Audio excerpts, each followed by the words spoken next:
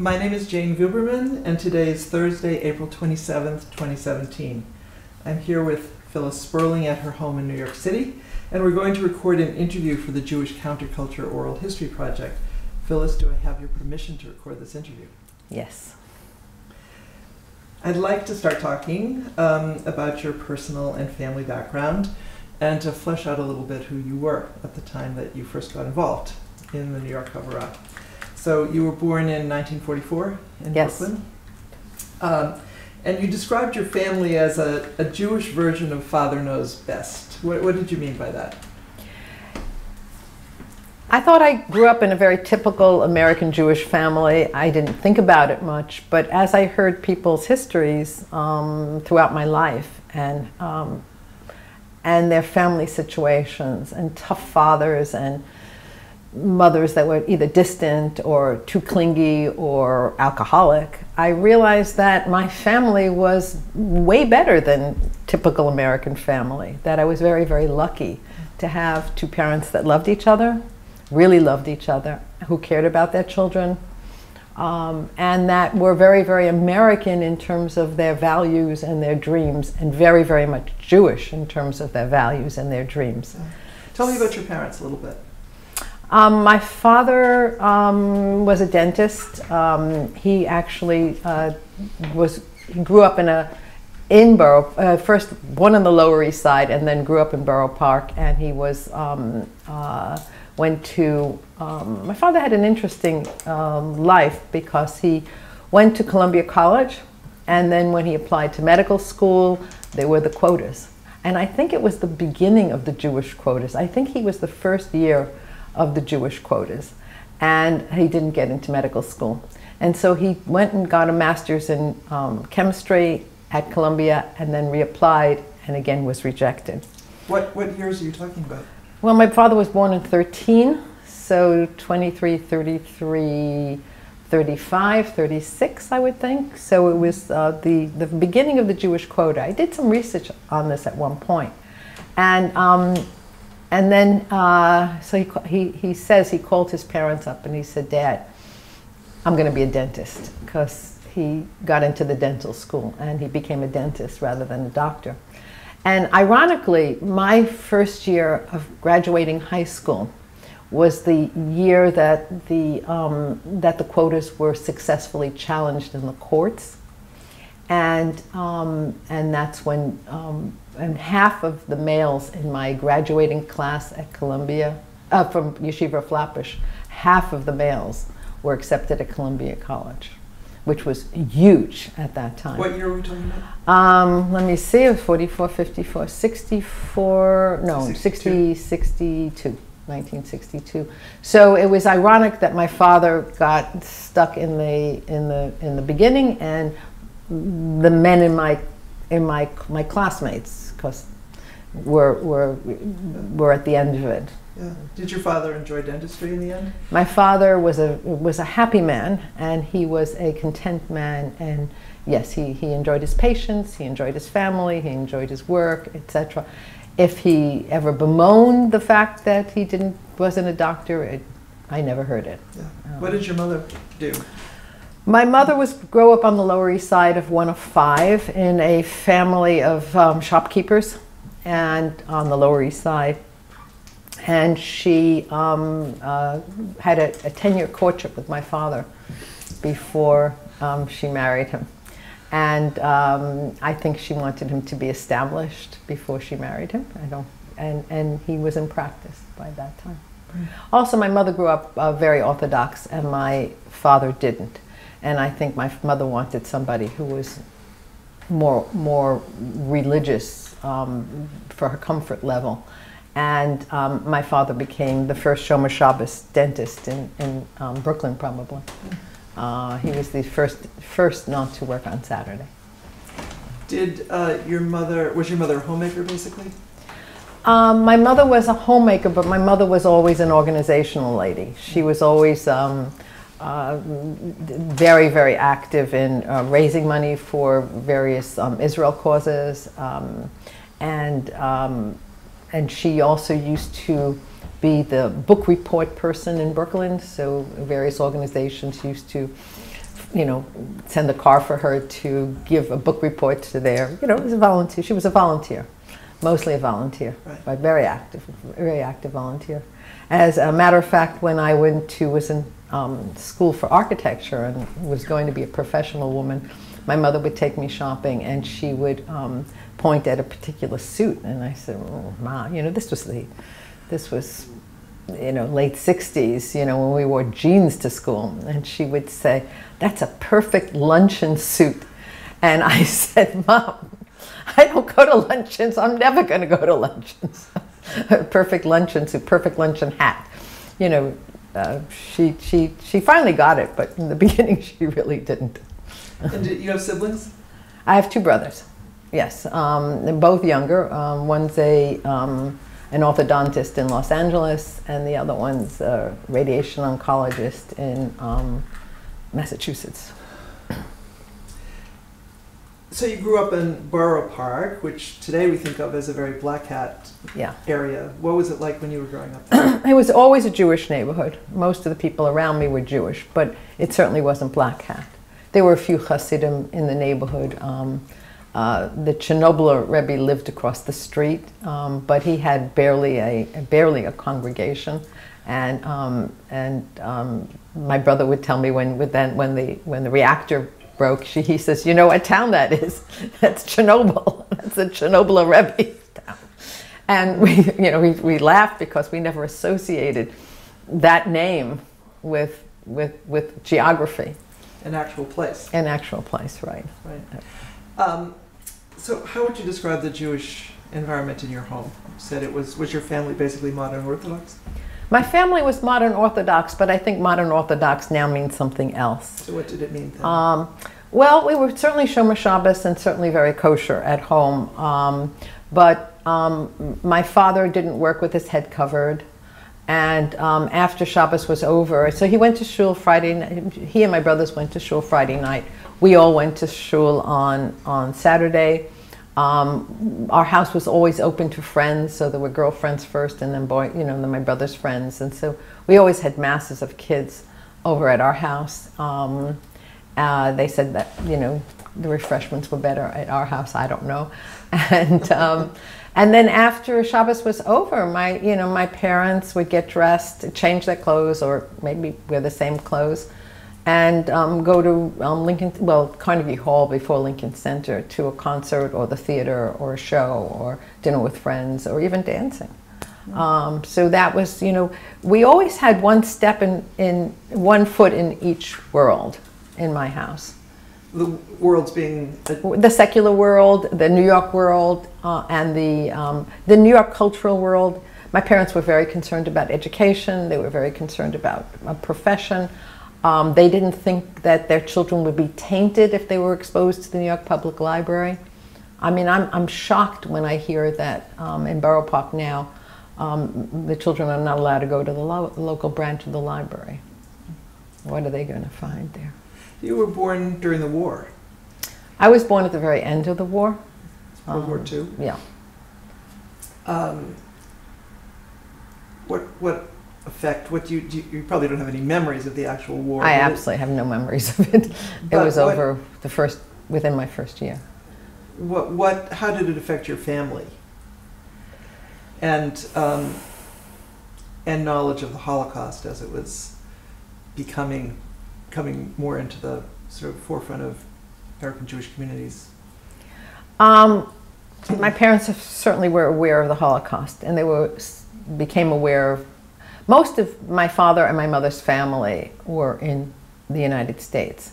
Part of my mother's family was still in Europe and and was, were lost in Europe, uh, but these were second cousins for the most part, maybe third cousins for the most part, and um, and um, I don't remember the Holocaust haunting my household.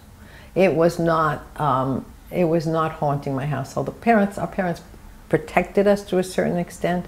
I went to Jewish day school, and my I the first my first conscious introduction to the Holocaust was reading a book about Chana Senesh when I was in the fourth grade, and I think I had to read it in Hebrew, maybe the fifth grade, and um, I was shocked. I mean, I was like devastated. It was a big, huge shock. And then I would, then I, then I, whether I knew about the Holocaust before, but that was when it really hit home, and it didn't come from inside my family. It came from school.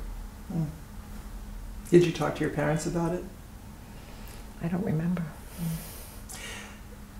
Do you have any memories at all about um, the founding and state of Israel, or your parents' attitudes or relationship to? Well, my parents were very Zionist, so um, so it was a. I, I, I- I have some vague black and white memories. Is that typical in your community or not? To be pro-Zionist in that way? Oh, I think so. Yes, I think so. Certainly, my school was pro-Zionist. Uh, my school, I went to Shulamith School for Girls. I think it was the first Hebrew day school that adopted Tzfardit. So when I learned Hebrew, I learned Tzfardit, and I didn't learn Ashkenazis. and and that's the way I learned to speak Hebrew, because um, it was a very, very pro-Zionist school. So, they- of course, all my friends and, and, and their parents must have gone along with it, because um, they could have sent us to Beis Yaakov if they didn't go along with it. So, what kind of a Jewish education did you have? You, you, as you said, you went to day school all the way through. all the way through. I went to um, um, from kindergarten through the um, eighth grade, and then I went to Flatbush for yeshiva for four years, and um, and then I went to Brooklyn College, which was the local commuter college, because my parents said there was too much sex going on in out of town schools, and um, and they didn't want me to take part in that, and. Um, Go back, go back to your earlier years a little bit though. First, what kind of an education did you get um, as a as a girl going to? Um, I went to an all-girls school, so I got. Um, I we didn't have to compete with boys. There weren't any boys there. Um, you know, they weren't raising us to be um, professionals uh, in between zero and eighth grade, but I think that they were giving us very strong identities as as Jews and as Americans. Both were really stressed. We celebrated patriotically all the American holidays, and we we we celebrated. We, our music program was all the. I know every single American folk song because that's what they taught us in music was all the folk songs, and I, I was amazed that kids I know from who grew up at the same time from public school don't know any of them. You know, I've got an old mule and her name is Sal. You don't know that? I mean, um, uh, that's what I was raised on. So we were raised very patriotically uh, for Israel and for, um, and I got a very strong Jewish education in elementary school and, and then again in high school. What was your high school education like? And and do you at that point was it um, a girls' school or is it uh, was What, it which uh, one, high school? High school High school was co-ed. co-ed. So that would have been the ninth grade, starting from the ninth to the twelfth grade. Um, it was a co-ed. Um, it was co-ed education. The first, um, they, the first year, the ninth, ninth grade, um, the girls and the boys took Talmud, took, took Gemara, Gemara. We had Gemara in the ninth grade. But um, after that, they split us. The boys took Gemara and the girls got Mishnah. So we had one year of, of Gemara. And then we, um, then we switched to Mishnah. And that was the only um, splitting. Oh, nope, nope. The boys, I don't know what the boys did, but the girls all did typing. We all had typing in our junior year.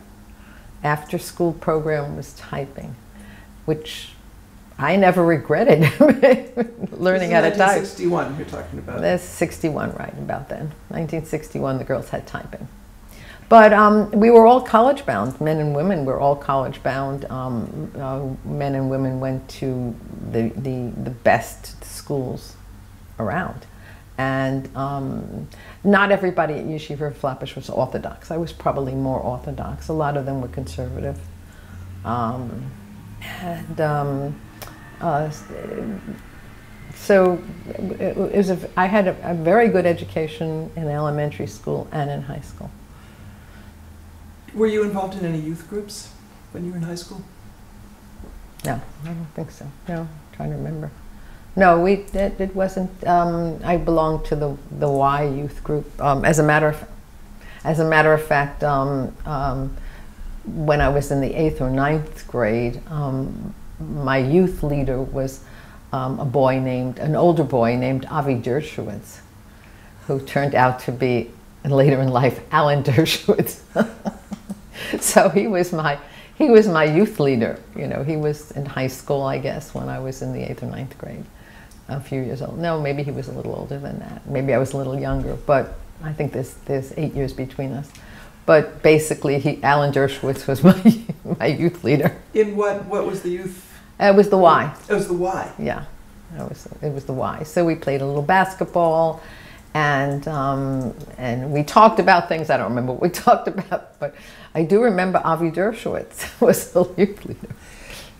What about um, Jewish camps? Did you go to any Jewish camps? Yes, I went to. Um, first time I went to camp was Morashah, which was a um, religious Zionist camp, and we slept in tents. And I was too young, and I was scared, and I w- that wasn't very successful.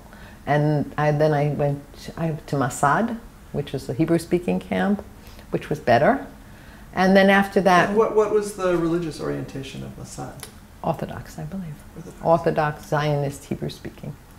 And, um, and then I went to a camp called Maple Lake for a few years, Maple Lake. Maple Lake, which was non Hebrew speaking, Orthodox Jewishly, but it was like a camp like all others, but the boys had to go to Daven in the morning.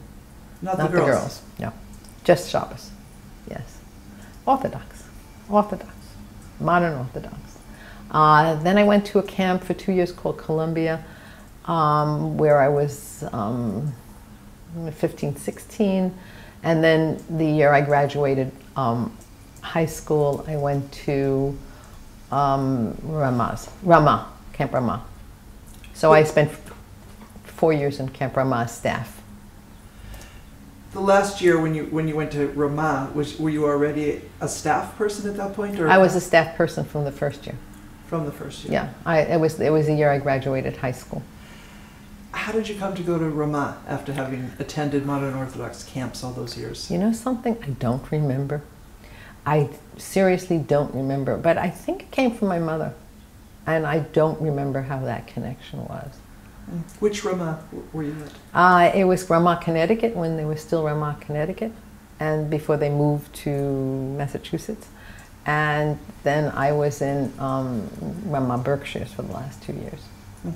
And I met my first husband, David Sperling, in that summer, the first summer at Ramah, Connecticut.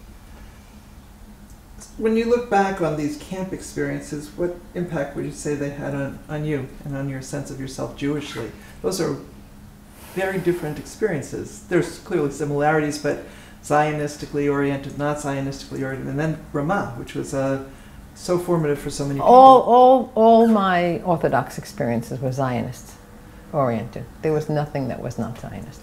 My parents wouldn't have exposed me to that. It was not. It was all Zionist, Orthodox Zionist, but Zionist.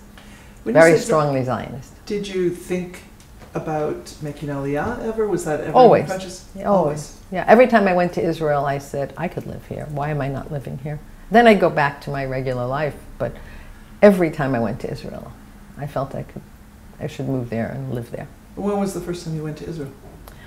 First time I went to Israel was mm, late. Um, fir- it was the first time I was really abroad. Um, it was 16, the war was in 67, I was there in 69. So later, after college, 69. etc. Uh, yes, Mm-hmm. yes. Okay. Um, Ramah, was Ramah a, a different experience for you? What kind of impact did Ramah have on you? Um, It's conservative, among other things. Ramah was conservative, but I, you know, I, I, I shifted, I shifted easily into it. It wasn't, it wasn't, you know, it still had, you know, davening on Shabbos, and it still had, it was still kosher, and it still, it was, it was still very Jewish. Uh, so I, I didn't have any, any problem in, in shifting into it. Um, it wasn't particularly more worldly than, than any of the other, than my experience at Yeshiva Flatbush. I think the Yeshiva Flatbush was more of an exposure to people that were less orthodox, that went shopping on Shabbos and, and did all those other things. So I, I, it, wasn't, it wasn't a difficult step. To make that transition. Um, it, it had a huge impact on me, but not religiously. It had a huge impact on me because it was the first time I was really in position of responsibility um, and leadership. So um, uh, for some reason or other, they gave me um, positions that I wouldn't ordinarily have. Um, in, in, you know, I was, um, when I was 20, I don't think I was older than 20, I was head of um, Omanut, which was the art, the arts and crafts. I had 13 people working for me. I had to schedule 13 people. I was 20 years old. I had no idea what I was doing. So that that was a huge impact on me, giving me that responsibility so early in life. That that kind of that was a huge growth. What was your background in the arts that got you that position, so to speak?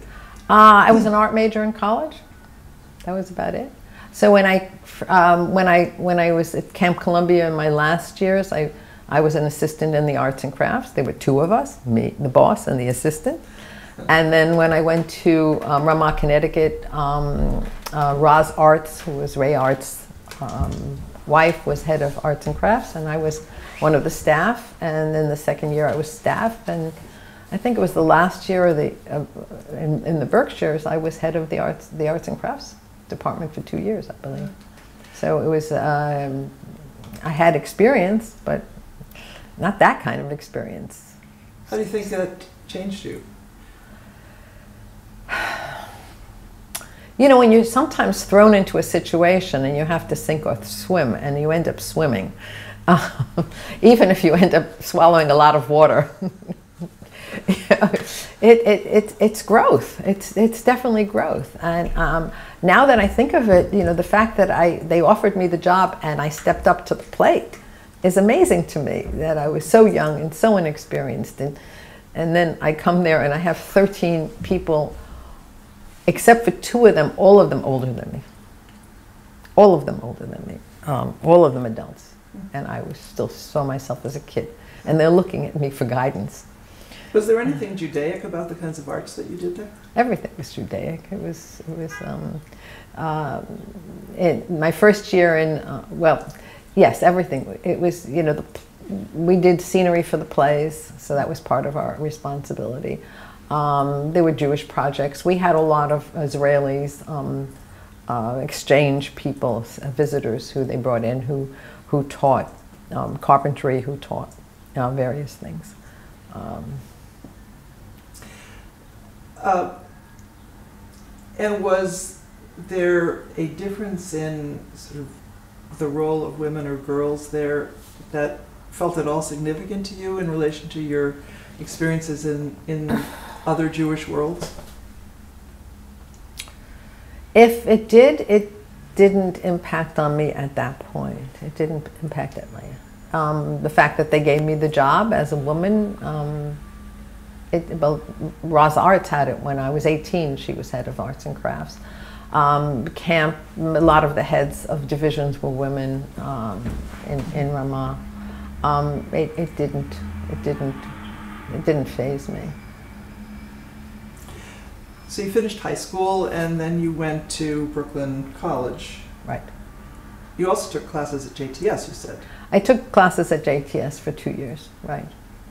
So I did continue my Jewish education there. What were you interested in studying at that point? Um, what they gave me. I mean, I, I, I, I, had really, really good teachers. I had Shalom Paul and I had um, Yochanan Muffs. I had the best teachers there. They were fabulous teachers and um, and we studied um, philosophy course. I took we studied Tillich, which was a new, whole new look at at, at everything. Uh, for me, um, it was it, they were very important. That was a very important part of my education, the um, the JTS college. And I was that an unusual thing for someone with your background to be doing, or well, what was unusual about it was it was critical method.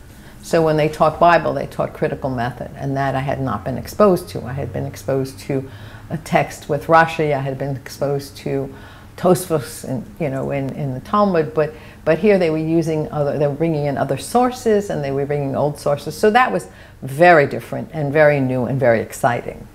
Mm. Uh, very exciting. So that was, I would say, a, a good turning point. in the difference between what I had before and what I was getting. How did you decide on Brooklyn College? Did And I? Was Brooklyn Did I decide on Brooklyn College? I Did you? No. that's that's that's since they were. I never applied to another school.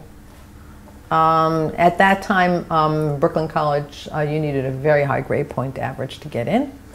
Um, I got in. Um, public education. Um, Where did you live? At home in Borough Park. So you commuted. I commuted for four years, and I then I and from Brooklyn College I would take the subway for an hour and 15 minutes up to JTS a couple of times a week. Um, I ended up taking um, 18 credits at Brooklyn and um, another six at JTS. You were I busy. was busy. I was busy. I was busy. At what point did you decide to study architecture? Where did that come into your life? And why? How? It's a little embarrassing. Um, when I, I think I, when I was a kid and we had dominoes, I used to, instead of playing dominoes, I used to use them as building blocks. I used to do floor plans with them. I always was doing floor plans. I was always doing planning. And um, uh, somebody might have mentioned architecture. I didn't know any, anything about it. I had no role models in the neighborhood. There was nobody that I that I knew. I had no idea. Well, we didn't have much architecture in Borough Park or Flatbush, um, so I didn't much think about it. And then somebody said you should be an architect, and um, I remember talking when I was in high school, talking to my. I had a friend whose mother was a public school guidance counselor, and she said, "Any idea what you want to do? Uh, going to go to college?" I said, "Yeah, yeah, of course." And she said, Well, what are you going to study? I said, Architecture. And she said, Girls can't be architects. She actually said that. Girls can't be architects. And I also heard that from another source. Girls can't be architects. So, dummy that I was, I bought it. Girls can't be architects. And um, I went to Brooklyn College and I studied art um, with a minor in education because I'm going to be an art teacher. And in my third year, I took two courses one in architecture as part of the art major, and the other one in planning. And both my teachers pulled me aside. What kind of planning? Uh, urban planning, Urban planning. city planning it was called. And um, both my teachers pulled me aside and said, "You're really good at this. Why don't you?" And my um, my architecture teacher's name was uh, Papadaki, and he had worked with um, Le Corbusier, Corbu, in Brasilia, on the design of Brasilia. And um, he said, you know, you're really good at this. You should really pursue it. And I said, but girls can't be architects. And he looked at me like I was nuts. he said, who said? He said, I know a lot of women who have had successful, have successful practices. Of course, they were all foreign born. They were all foreign born. So I started thinking seriously of it, and, and Professor James, who taught city planning, said I should go into planning. So I looked at both of those and decided I wanted to do, I would, might pursue architecture, but I didn't have much money to do that. Um, my brothers were coming up, they were going to be going to college, and I felt that very embarrassing. I felt as a girl that you know my education had already been paid for through elementary school and private high school. It was the times. It was the times, right? It was the times, and I was definitely a product of my time. And where were your parents on the education of their daughter and Well, and they then when I mentioned to my when I mentioned to my parents that uh, so so what happened was that um, Papadaki sent me to Yale and he sent me to um, Harvard and he sent me to Columbia, etc. And um, I looked into those places. I didn't go to Harvard, but I went to Yale, and um, I couldn't begin to afford the tuition at those places. for architecture school. Right. I also got married at the end of my junior year in college. So here I was, a married woman. My husband was studying in New York. I wasn't going to leave. I, I had to do it in New York. What was he studying? Uh, he was at JTS in the rabbinical program? in the rabbinical school by that time. Right, he was in the rabbinical school. I wasn't going to leave town. Um, I didn't have, we didn't have much money. Um, I, I declared independence for my parents at that point under my father's protests. He protested. He said, I will pay your tuition. But I said, no, daddy, doing this myself. I think I felt insecure. I didn't want to start something and then quit and then have him pay for it. So I figured if I was paying for it on my own, on loans or whatever, then um, I would, you know, it's my head. It was my burden. And so I declared independence from my, from my parents and I applied to Pratt, which had the lowest tuition, and they gave me a 50% reduction in tuition. And I paid $800 a semester to go to architecture school. Now, even at that time, that was nothing. Even at that time, it was nothing. Uh, and, um, and my parents just thought it was funny that I was studying architecture. They just thought it was a gas. Um, it, they, so my mother said to me, look, take it one year at a time, see how it goes, and if, you know, and if it works the first year, you'll go to the second year. And my father, I think, was very proud. And my, but my father died in, in, in this, my second year there. And he had a long illness and he died. So that was a big trauma. But I, I persevered. Um, and, you know, it, it didn't hold me back Yeah. through that year. So, what was the year that you got married, actually? Um, I got married in, I think, I had to, 65. 65. So, your, your parents, it sounds, were, were quite actually supportive of your goals. Yes, my parents were. I'll give you an interesting story. Many, many, many years later, after the women's movement had so taken over and feminism has had taken over, my mother, my mother, sat down with me one time, and and you know, um, sh my father was a dentist, and my brother became a dentist and then an orthodontist. And my mother said to me, "You know, I've been pondering. I've been wondering, how come we didn't encourage you to go to dental school?" And I started laughing. I said, Mom, remember the woman that sat in front of us in shul? And she said, Yes. She said, We made fun of her because she was a dentist. Who ever heard of a woman dentist? And it was, it was a different, it was a different world. I grew up in a different world. Yeah. And, um, and there were very few women in my class in architecture. And almost all of them, with the exception of two, were foreign born. Uh, were coming as were coming to New York to study architecture from some other country, for the most part, which is interesting. We think of ourselves as so advanced in that area, and we were so far behind some other places. This was a very tumultuous time, the 60s in Oh, yeah. general, in America, American society. Um, development of the counterculture, the anti war Right. movement, the civil rights movement, assassinations. Um, a very tumultuous time, and also the beginnings of second wave feminism. To what extent were you aware of all of these movements and involved or, or personally? Uh, very aware, very aware. Um, it, it- when I was at Brooklyn College, our history teachers would rail against us for being complacent.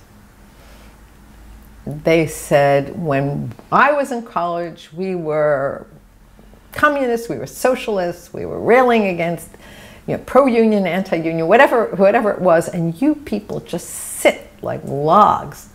And, um, and you know, we all looked at them, so, you know, with our, you know, whatever. and then, um, then I went to Pratt, and all hell broke loose. Um, first year was fine, but after that, it was just there were um, always demonstrations on campus. As a matter of fact, I think for the last two years of my three and a half there, um, we never took spring finals because we're on the picket line of something or other. We Late were- 60s, by then you're talking about. Yes, yes, 60s, yes, late, very late 60s. Um, I graduated in, um, I think, January of 70. And so we're talking about 69, 68, maybe 67, Mm. when, when all hell, hell broke loose on my campus at Pratt. but also um, um, I think my husband at that point was either out of JTS or at Columbia. So all held, we knew a lot of people uh, from Columbia and graduate school in Columbia, and you know what happened there at that time. Well, So- say, say briefly what happened there. Oh well, you know, it was the SDS movement and the sitting in on the on the offices and Big um, strike a big strike. Yeah, the big strike, and you know, we were very um, we were very sympathetic to it, and we had um, a friend who was over quite frequently, who was one of the major, major, major activists in um, uh, in SDS at the time. I think he was arrested eventually. Uh, so we were very much um, um, on, on certainly Columbia campus. I wasn't on the Columbia campus, but we were very much knew about it and and and, and sympathetic to that cause, etc. So here you were, a woman in architectural school. To, to what extent were you really aware personally of um, second wave feminism and consciousness raising groups were starting to form? Consciousness raising groups started after, um, a little bit after. Or maybe they had started at the same time, but I wasn't so much aware of that. Um, we were aware of, um, when I first started, I, I went to Pratt as an undergrad. I, I finished college and I went to Pratt because I could afford it. But it was a five year undergraduate degree. There's two ways of pursuing an architectural degree. One of them is a five year undergraduate degree, and you get a professional degree at the end of it, which is called a Bachelor of Architecture. Or you can go four years to a regular college and another three years to a graduate school in architecture, and you get a M.Arch or a Master's of Architecture degree. That's what you were doing? Nope, No. What I couldn't you afford that. I So you, couldn't you afford started the undergraduate So I went again? to an undergraduate. I start. I did. I was an undergraduate again. I did three and a half years. They accelerated me. I did three and a half years, and I got a bachelor of architecture. Later on, I went to Columbia and got a master's. But I had another bachelor's degree. Once you had the the bachelor's of architecture or the master's of architecture, they were equivalent. They were both entrees into. They were first degrees into the profession. So it didn't much hold me back, not having the master's at, at that point. Mm-hmm. Um, I, was, I, I was able to work with that. Um, Were you, ever, were you ever part of a consciousness raising group? oh yeah, let me finish the, Yeah. the school experience. Sure. So when I went, when I started um, Pratt, they um, skipped me from the freshman year into the second year because I was an art major, so I had a lot of foundation work. And I had to double up on my studies because I had to catch up on the calculus and the strength of materials courses, etc., that I had missed. But, but I did it. And um, um, a very young girl approached me who became a lifelong friend. And um, she said, um, would you be my partner in this project?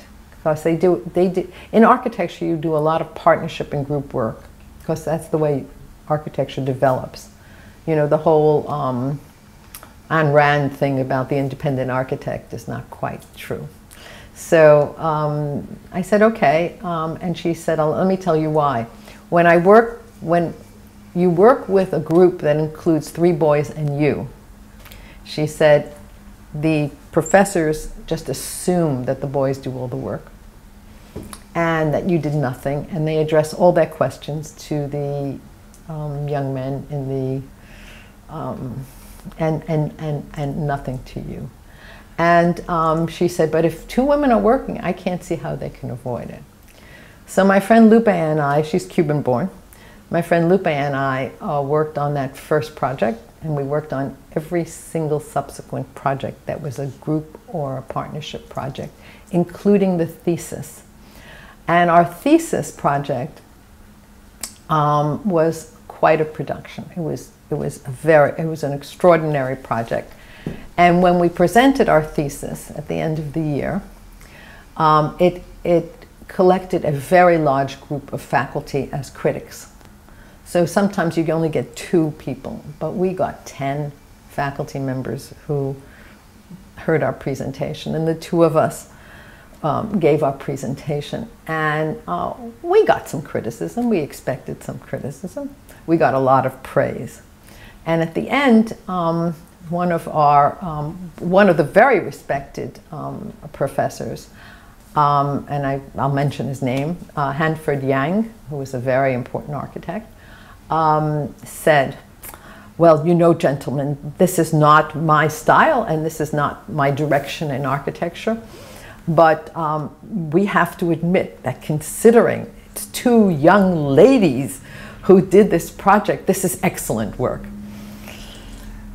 And I held my breath, but Lupe, who was four years younger than me, Lupe, you know, was very small, and she back was stiff and she said, I have never been so insulted in my life. And she walks out of the room. So I was left holding the bag there.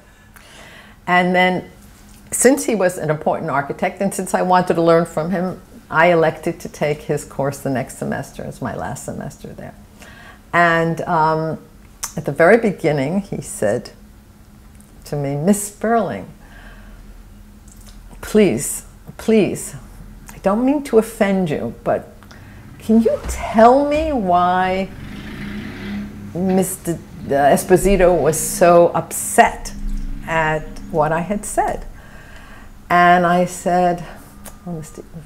Professor Yang, um, you know, and I, I repeated his remark, and I said, you know, it was, you just implied that there was something inferior about women, that they could not achieve the level of a man in this project. And he said, but, but, but, but, but, but, but, you know, which means, of course not. Of course that's where I feel. So he said, but I don't understand.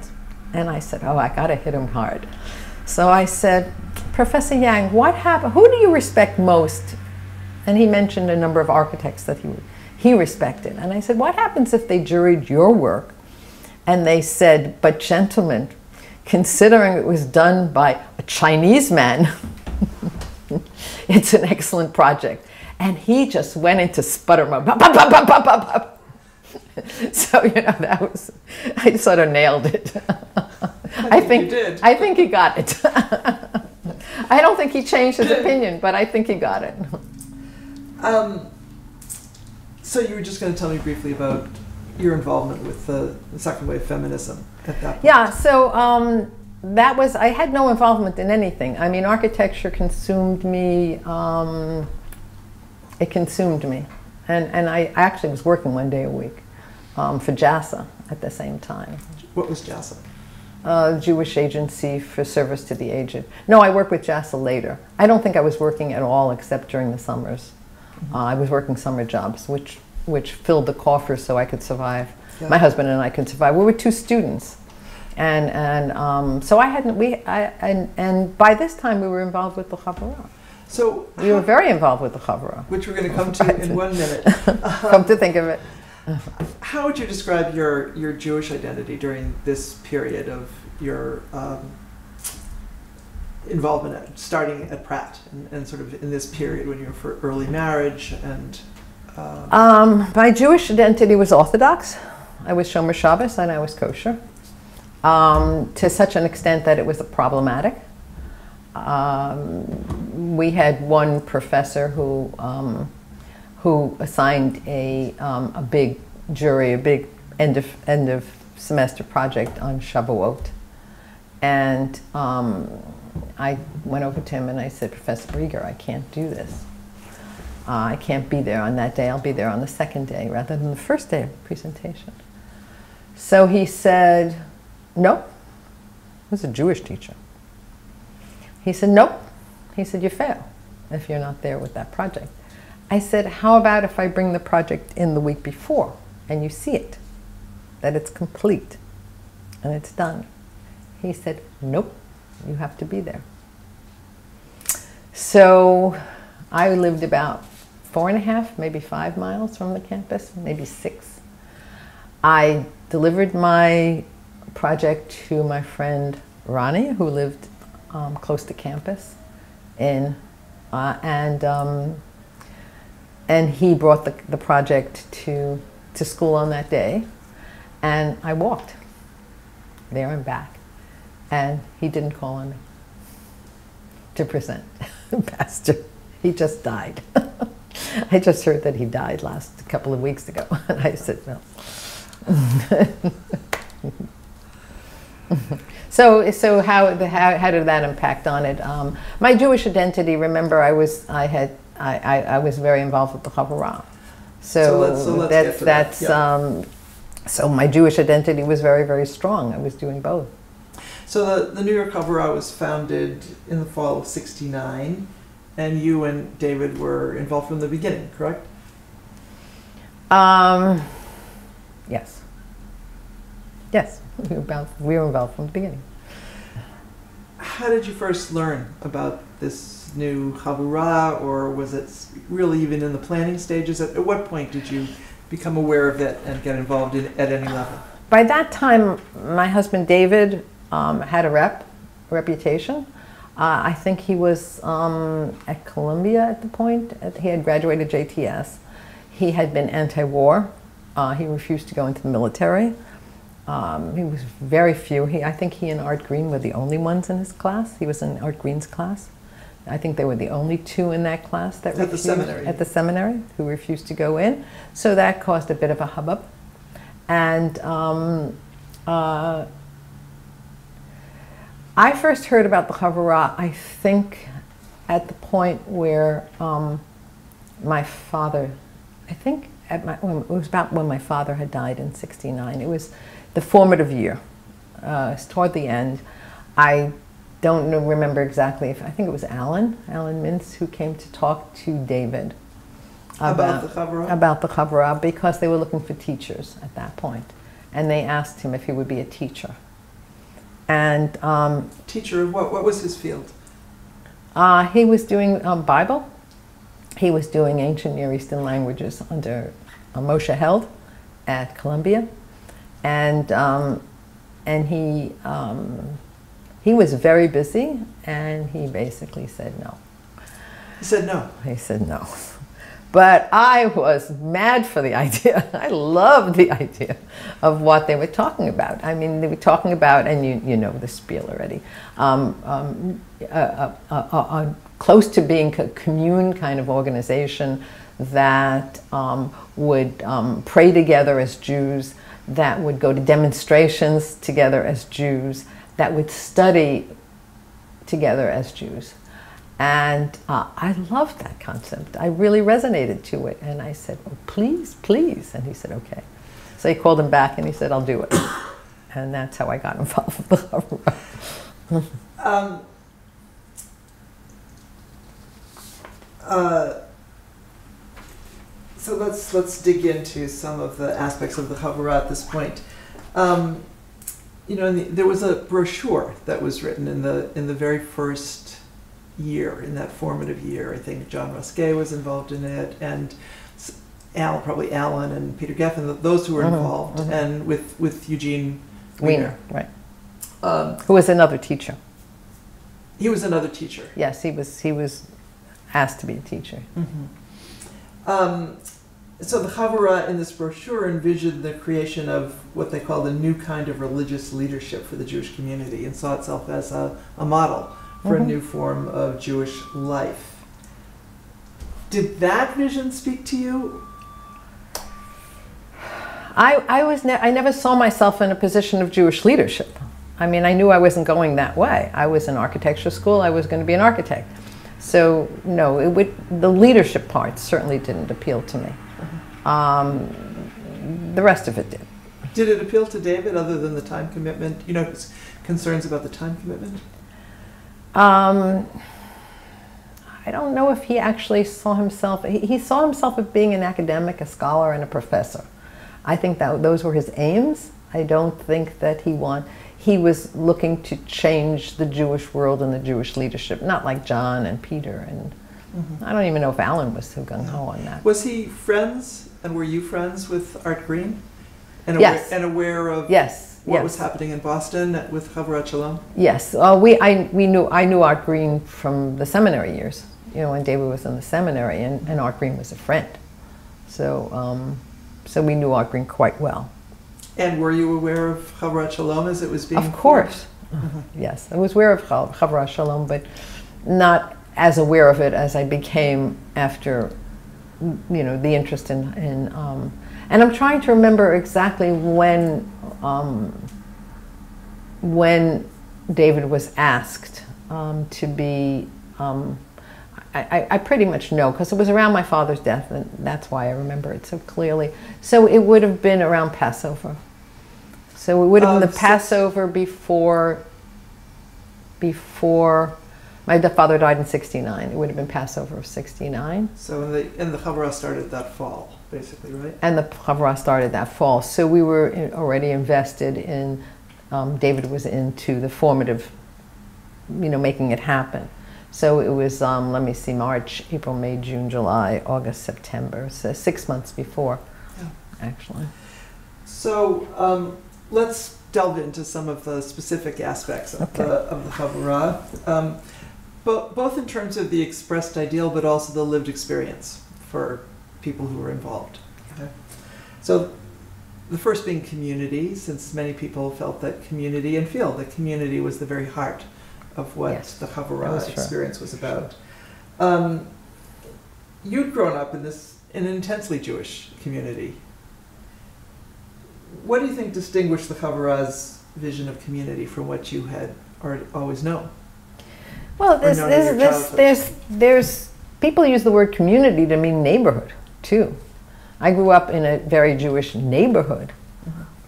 The community we were forming uh, was, was, was much more of a, of a chevra than it was a, a neighborhood. So you're using the word interchangeably, but there was no comparison.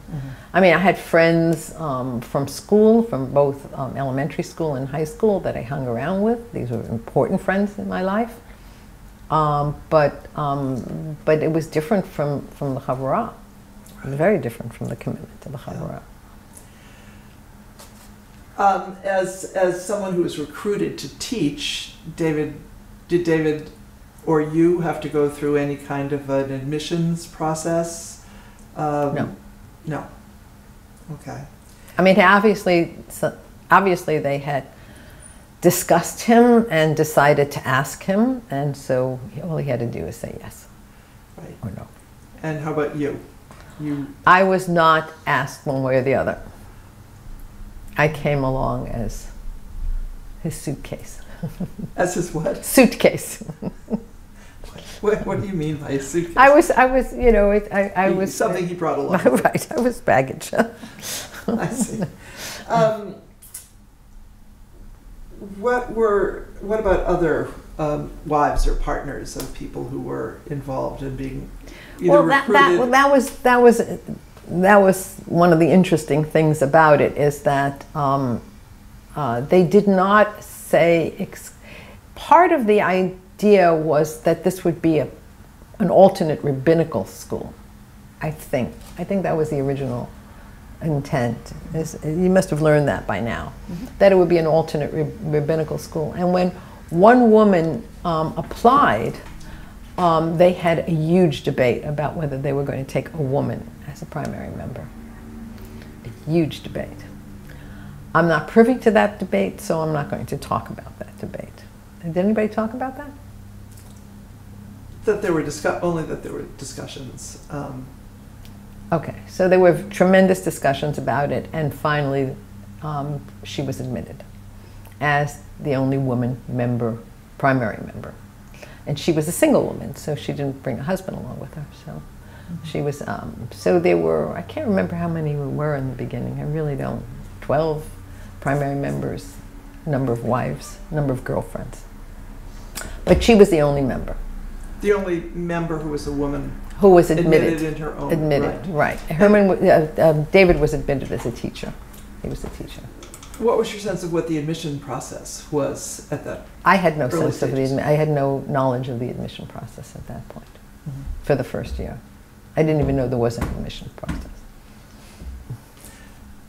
Was David at all involved, or you don't know? I don't think so. Um, what's your sense of what kind of person they were looking for? Were, were there, or any any sense of the criteria by which someone would be admitted or, or not? And what were the issues? I mean, can you imagine what the issues were around whether or not to admit women? Was it was it the issue of the seminary that it was a rabbinical training ground, or was it something larger? Since? I wasn't part of that, I'm not going to. okay, I'm, I wasn't part of it. They didn't share with me. I don't know. how would you describe the people who were involved early on? I mean, generally speaking, what kinds of people were involved in those early years, in that very early year? Um, I think that a lot of the people that were involved in those early years were, were, had, were either people that had thought about going to rabbinical school, men, had thought about going to rabbinical school, or had been in rabbinical school and were dropouts. And um, uh, so when I look back on it, um, uh, when I look back on it, and I didn't know it at the time because people were still more or less in the closet, there were two gay men that were part of the first year. Um, um, but I didn't know it at the time. And um, Because they were in the closet. No one knew what you're saying at the time. People didn't. I think no- everybody knew it except for me. I was very naive. I came from Borough Park. what did I know? What did I know to look for? I didn't. Um, there, there is a. Well, I'll tell the story later, but tell tell it now. Tell it. Yeah, um, we were driving back from a retreat early on. Early on, I was sitting in the back of the car with this guy who was only in the Chavurah for one year. And he said, How would you vote if, um, how would you vote if um, a gay man, a homosexual, I don't even know if we used the word gay at the time, how would you vote if a homosexual person um, uh, wanted to join. Now, I told you that, that I was, I, I told you, but I didn't say it here. I was, I'm, I'm not an intellectual. Oh, I was, I was the, I was the non-intellectual in a sea of intellectuals. I was, I think I was their comic relief. but, um, uh, and, and, and I kept on stressing that, you know, I didn't deal in hypothetical debate. I, I dealt with realities. I was, I was really the, not so much the anti-intellectual, because I'm not anti-intellectual. I was just the non-intellectual in this group who debated. Um, I once spoke to John and he said, you know, don't you love process? And I said, I hate process. I'm a result oriented person. I'm going to skip process and go to result. But we, he used to tease me and I used to tease him. And I used to tease Alan Mintz for being too verbose. And I, you know, I said, you know, college boards are over. You don't need to use those words anymore. I was the comic relief. So, so this, this young man asked me um, what I, you know, hypothetically so I said, You know me well enough. I don't deal with hypotheticals. A gay person wants to become part of the Chavurah, I'll think about it. And that, was, that was my answer. Little did I know that he was already in the Chavurah. And, and, um, but I didn't know at that time. Yeah. It wasn't like I was hostile, it was like I was naive. Um, uh,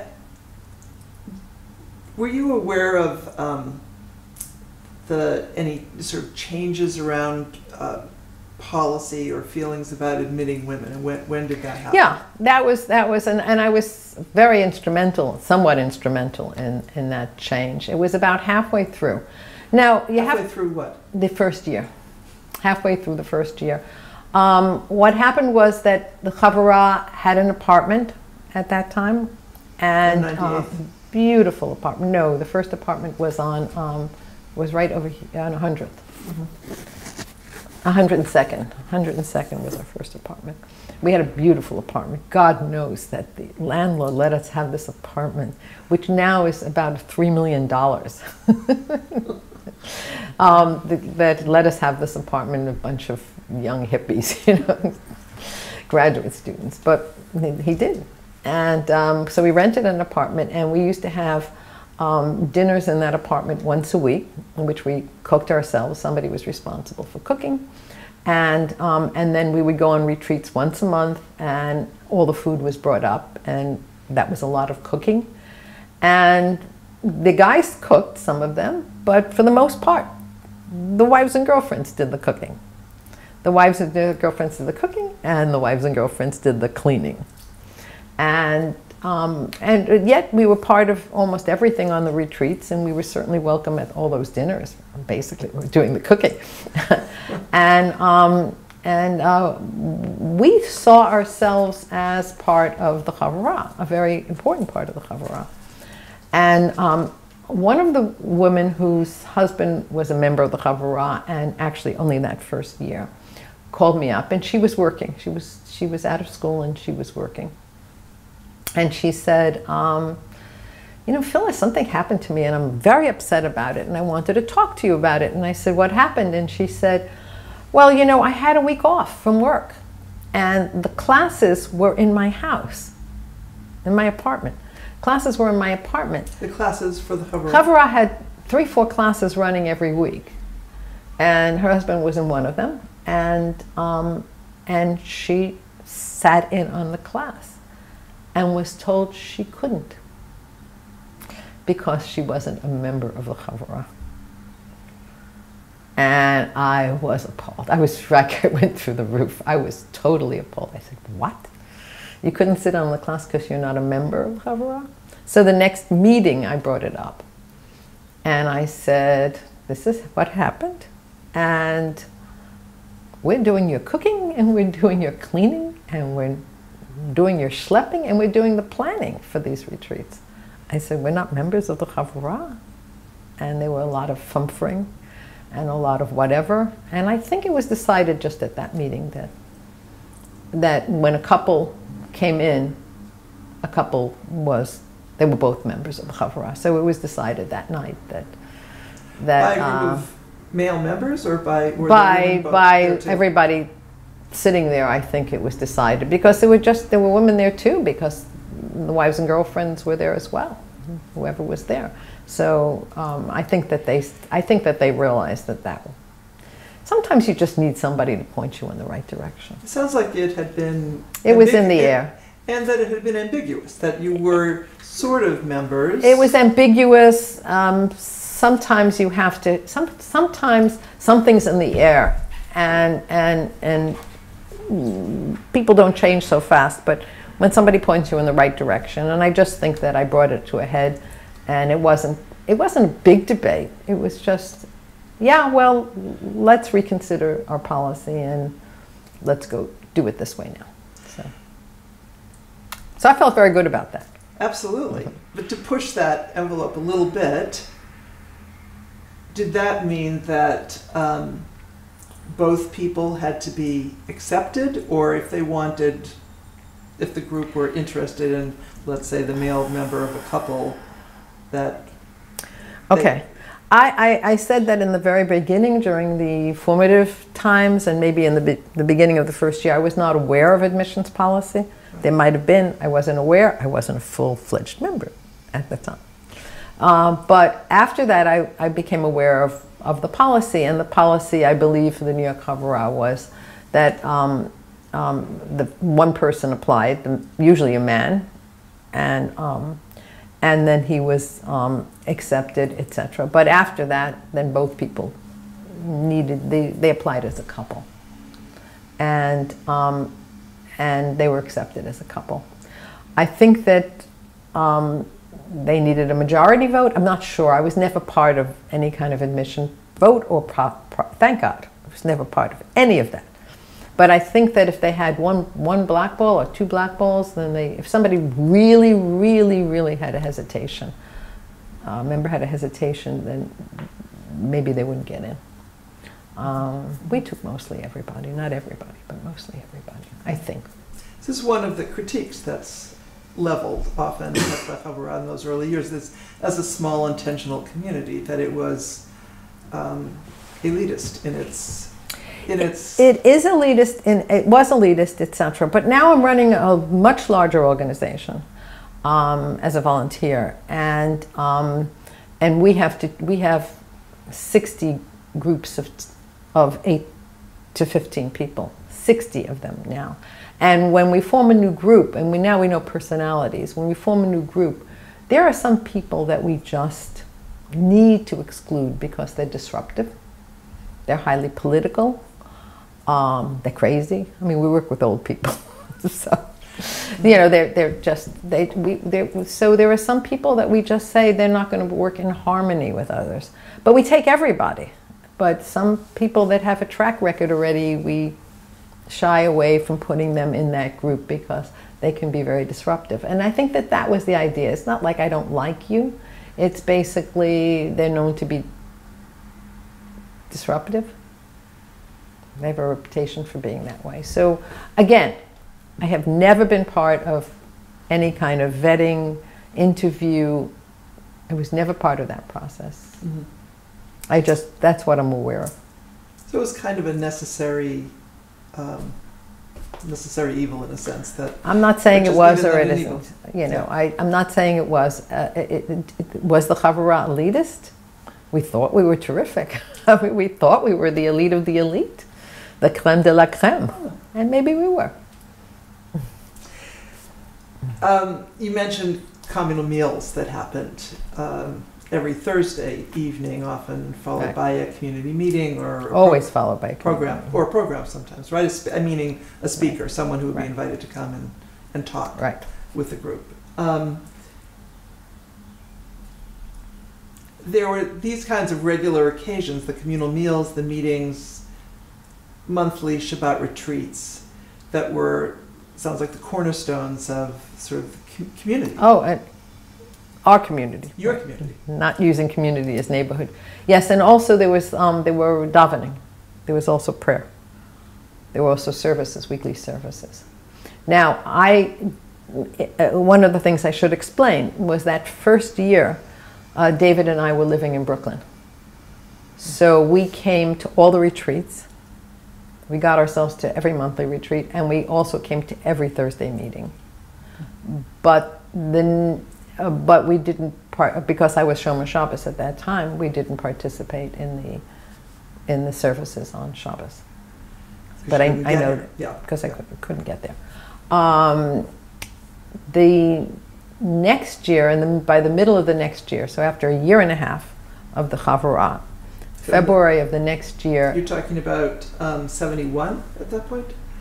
well, Sharon was born in September 70. I'm talking about 71. In February of 71, um, David had a job in Stony Brook, so we moved out there. So we were very much members of the Chavurah, but we knew what was going on, etc. But we were physically two hours away from, from all of this. So we did not participate in the weekly meetings, but we went to almost all of the retreats. And they started to make the tr- retreats out on um, Shelter Island. Most of the retreats were in Shelter Island so that we could get there. Where is Shelter Island? Um, it's between the North and South Fork of Long Island, far east, eastern Long Island. So that made that possible. So it made us, and they did it to make most of the retreats were there so we could get there. And we went to what we called the um, anchor retreats, which was the um, the long retreats on um, on Shavuot and Sukkot. So those were the three day retreats rather than the one and a half, two day retreats. So a typical retreat. T- tell us about the retreats because they were clearly very central in the Very life of the central. community. So the, the typical retreat, um, and, I, and I remember one was um, we would rent a space in cheap space in some state park, usually some unheated cabin in the middle of the winter in some state park, and where uh, the only um, the only heat was from a fireplace that had to be kept going all night long um, in the central space. And I remember we all had sleeping bags and we all slept end to end in this big space. That's all of us were in this On big space on the floor in our sleeping bags. It was the only, it might have been the only space, but it certainly was the only warm space. And um, at some point later on, we became adults and graduated to bunk beds. you know, four or six to a room. But in the beginning, we all slept on the floor, and, and, and then, you know, when then the tables would be brought out, and, and we had all this all these food prepared. All we had to do was heat it up, or even eat it cold. How did the food get out there? People who uh, they, we brought it, and part of it, it, part of the hard part was it had to be there before Shabbos, and in the Was winter. that a, was that a given? It was a rule. It was a rule. The food had to arrive before Shabbos. um, because um, sometimes we had an Orthodox member who was strict about it. Um, but that was the and that was the hard part was arranging to get the food to the retreat before Shabbos, especially in the winter when Shabbos started at 4:30. so some people would, how are we going to do it? There was a lot of organization, a lot of work on this. So you said, I can, I'll cook it Thursday night and I'll bring you to your house because you have the car. And so some people could not get there. Some of the cooks could not get there until after the workday was over, until later. But the food had to get there first. So a lot of us ended up bringing the food to somebody who we knew was going to get there before Shabbos, and he would bring the food up. Did the food have to be prepared? I mean, ready, ready to be served, so it could be heated. Except for salads, heated tuna fish. Mhm. Yes, so it can be heated. I mean, we were. It was a. There was a lot, and this was this was every month. Who made these? arra- I mean, what was the arrangement for making these arrangements? And I'm curious throughout the extent to which there was sort of gender differentiation over You know, who, I, who was in I, charge I'm. I'm not sure, and I don't remember. I do remember that, you know, uh, we knew who had cars and we knew who, who were free to leave. So it, after a while, it wasn't, after a while, it was just, um, listen, um, I'm not going to get there until after Shabbos. So I'm going to cook on Thursday and I'm going to bring it over in a shopping cart to you and you'll get it up there. And, and after a while, it was just easier because we knew the cars that were going up early and the cars that were going up late. And I don't remember who did the driving, who made the transportation arrangements, but somebody was always. I remember that Jerry Serrato always did the cheshbon at the end, um, where. Um, so the way we worked it this way, and it was always Jerry. Um, we would um, say how much we spent. Each of us would. We didn't submit receipts. But we would say, I spent $28, I spent $35, I spent $12, I bought the wine, many dollars, and we would all give him the chits with our name on it and how much we spent. And some people didn't spend anything, so their names went into it, etc. And we would add onto that the rent for the space, um, probably nothing else. And he would add all those things up, and he would divide by the number of people, and then he would hand you the chit with whether you got money back or whether you had to contribute more. And everybody did that, put in the money, and then he was able to give back to people. And it was all done in less than a half an hour after Shabbos. Nobody went home until Jerry did the cheshbon. it was all settled up in half So it didn't go into a communal pool per se. It, it, everybody, it was settled up. If you were owed eleven dollars, you got it before you left, Yeah, and there were also chavurah dues because we also had an apartment rent to pay.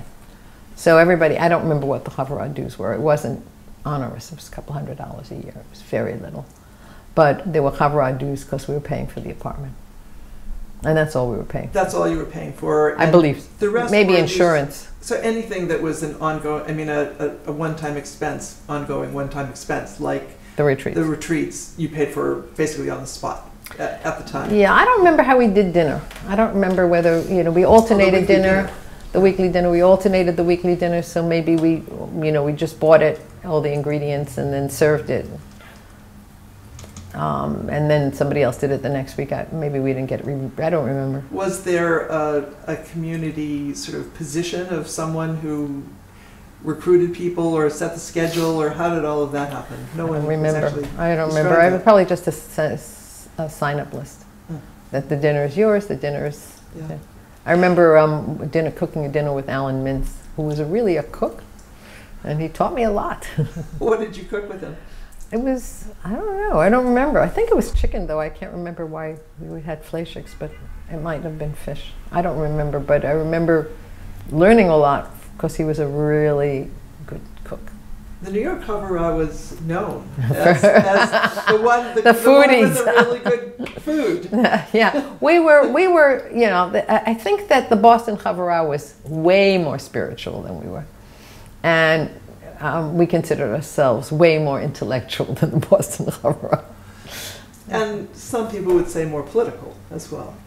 Uh, Probably more. We were very political. Yeah. that was another big thing of going on those Washington marches. Yeah. It was a very Um, big thing. Before we leave the subject of uh, food, uh, Important. it is important Yeah. because it was it bound the community. It bound the community. Um, did people invite each other to their homes? Was that was it was it an inviting like a Shabbat inviting community? Also, You know, it might have been in, for the people who lived in Manhattan. Remember, I lived in Brooklyn and then I lived in Stony Brook. So we had people over to our house, but we would, used to laugh that very few people would make the, um, the, the trip to Brooklyn. Um, uh, Martha was one of the few people that came. Um, Mother Al, um, you know, um, and um, Dina Rosenfeld was one of the few people that came. Uh, but I think the Chev, I think the Chevises came once too. But it was it, people didn't come, especially not on Shabbos. It was far. Brooklyn was considered like we, you know, Oklahoma. not anymore. Um, so as you said earlier, these um, meals, the Thursday evening meals, are often followed or usually followed by a meeting. yes, always, always, Always. followed by something. Um, That was that was the important part. The meeting was the important part, not necessarily the dinner. what was Dinner so was- important about the meetings? I don't remember. Do you remember, were there were there kinds of what kinds of topics or issues would get discussed at the at the meetings?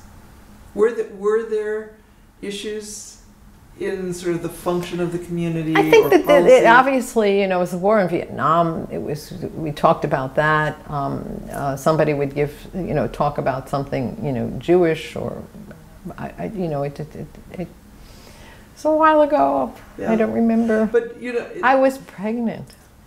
you were pregnant, so we're talking about 70, 69, 70? When was Sharon born? Sharon was born in September of '70. Yeah, so yeah, I was late pregnant. 69. I was pregnant.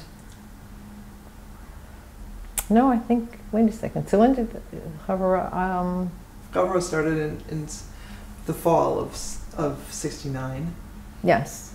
So the Havurah started in the fall of '69, uh, and she was born in the fall of '70. So I was pregnant for nine months of- that first of that. year. Well, for for most for from January. I, I, I know exactly when I got pregnant. I know exactly where I got pregnant.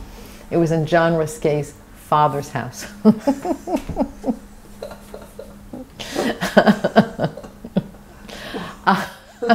Was that a Chavurah function? It was a Havurah New Year's Eve party in his father's house. I don't remember, but that that I, I, I, I he said, "How can you be sure of that?" And I said, "Pretty sure." and she was born nine months later, in the end of September. So, so I say for the first from September, October, November, December, and then I didn't know I was pregnant for a while. So, Right. but then I was pregnant. So it's important to note, I think, that um, the Chavurah was originally composed of individuals and couples, but there were no children Yes. in the very beginning. In fact, you were the first. yes, I was the first. I was the first mother. Um, you broke that mold. So, what was it like to become the first mother in the group? Um, It was. and it for was. Sharon to be the first child. So, t- tell us about that. Um, well, one of the Thursday meetings that I remember quite well it- was when um, I don't think she was two weeks old. And I brought, of course, this is important, I brought my baby to the, the, meeting, the Thursday night meeting, and everybody oohed and ahed, etc. And, and, and actually, they ended up, we were all sitting on the floor. They actually passed this baby around. And, um, and I hope I don't embarrass John this way, but John held her and he went like this and he went, oh, oh, oh, oh, oh. and he said, This is so boring. you don't forget that. so give me my baby. and it's like, the fact that, you know, he could say that and I could laugh showed you, I think, the closeness of the The of the group. group, right, and, and the comfortable level that we had in it. Um, so Sharon was the first baby, and there were a lot of um, women, um, some of them, I mean, I wasn't very old at the time, I was 26, um, 25, 26. The women that were 23, 24, a little bit younger than me, and they would just, they would just, I would go to a retreat, I didn't see her. They just took over. One, one would-be mother to another would-be mother, she was handed out. Um, somebody would knock on the door when I was sleeping and they say, is she up yet? And I said, yeah, I think so. She said, okay. And they'll come in and take her out of the crib and change her and get her out of there. And I got another two hours sleep. so I, uh, it was wonderful. It was wonderful. She was adored. The child was adored. Um, were the men as mesmerized by her as the women? Of course not. of course not. Of course not. but, but the um, she had she had a number of mothers in that first group. Three. What did that feel like to you? To be the first. Great. Oh no, it was it was fine. I didn't have any problem with it. Um, um, you know, sometimes you know I would, but I was a very conscious mother in, in, in places where there were groups and she made a whimper, she was taken out. I didn't wait for somebody to say, take that baby out. I, I took that baby out um, or David took that baby out, or one of the mothers took the baby out. We, we, we never let her interfere with what was going on. As a matter of fact, we went on a retreat once at Shelter Island, and she was a toddler at the time. And um, uh, we were sitting around having, it was a Friday night dinner, and we were sitting around having whatever we were talking about, lesson, you know, whatever. And, you know, the, all the doors, I would make sure that all the doors were closed so that wherever she went, she was in the same room. And uh, I wasn't watching her. And um, at some point, I turned around to look for her, and she was walking around the table, reaching up for the little cups of wine. we go going around. Toddler was drinking all the wine around the table. Must have been sweet wine. sweet wine, yeah, she liked it. So um, you know, so she was the she was the baby that was around. Um, um, when was the next baby born? Do you think, or when did other couples begin yeah, having babies? Um, Ilana Resque was the second baby, who was a couple of years younger, and then Paula's two came. So there was the four girls the four girls that were raised together. And, um, and they were very, I mean, there was a difference of two years or three years in their ages, but they were very tight. Those four girls were very little tight. Four, four little, girls. girls. Right. And then, then um, David Ellenson's came in with a baby, or baby was born. No, no, they came in from Israel because Ruthie was born in in Israel. So, so they came. talking in. about later. I'm in, talking about later. 70s. Right, right. So, um, so basically, those four girls were the were the first babies in the Chavra, and mm-hmm. um, and formed. I don't know how far you want me to go on that. So, well, that was it. Was very the children were very important to the Chavra. The children in the New York Chavra were very important. How did it change the Chavra? You know, Chavra, it's hard to say because the Chavra was changing already. Remember, everybody there was in graduate school. Um, and, um, and many of them were academics. And they got jobs. Um, the Hunderts went to Montreal, and Bob went, and Judith went to um, Kansas. And um, David Ellenson first went to Boston and then to Los Angeles. Um, people people went to Israel. Um, this is over the course of the 70s, largely. So it was over the uh, very soon. I mean, very very soon. I mean, as soon as you know, they, people were graduate students. So how long are you a graduate student? Two years, three years, and then you get a job on some campus somewhere else, and you're gone, or you continue somewhere else. Uh, so a lot of people left, and new people came in. So we had new people came in and had more children and. Um, and, um, but the original people, um, some of them stayed very close and in very close contact and were always part of the Chavurah, even if they were only there for the first three years or the, or the second. The, the, the interesting thing about the Chavurah was the, um, The real formative year was not the first year. The real formative year was the second and third year. Because, because the people that came in there, that second and third year were the ones that stuck. And a lot of people in the first year, I can think of three or four or five, about half of them were gone by the second year or the third year. So, because for one reason or another. Um, the two gay guys were gone that second year. Peter Geffen, I think, didn't left after one year or two years. Um, for all different reasons. Um, and somebody else went to Israel with his wife, and um, so I would say only half of the first year survived. The formative years of the New York Havurah were definitely the second, third, and, And fourth. who, who were some of the people who came in in those years? Well, Zev and Leslie didn't come in the first year. Um, Misha and Jackie came in after say, that. say last names. For, Oh, so, um, so the Schenkens. The Schenkins, um, um, the Gutworth Avramoffs uh, were second or third year. Um, uh, Flora and Aryeh Davidson were third and fourth year. The Hunderts were second or third year. Um, most of the people Yeah. that um. Bo- um, Bob and Judith uh, Goldenberg came in. They were in Kansas, I believe. The kid came in Second, 70 third. 74. Okay, so that's fourth year. So it was the real, the real Chavurah. The, the first year Chavurah was the experimental, the where are we going, how are we going to do this, etc. Um, um, Jerry Serrata was out after what, four years, five years? You know, he moved too. So, um, so the real formative Chavurah was the second year, third year, fourth year, fifth year.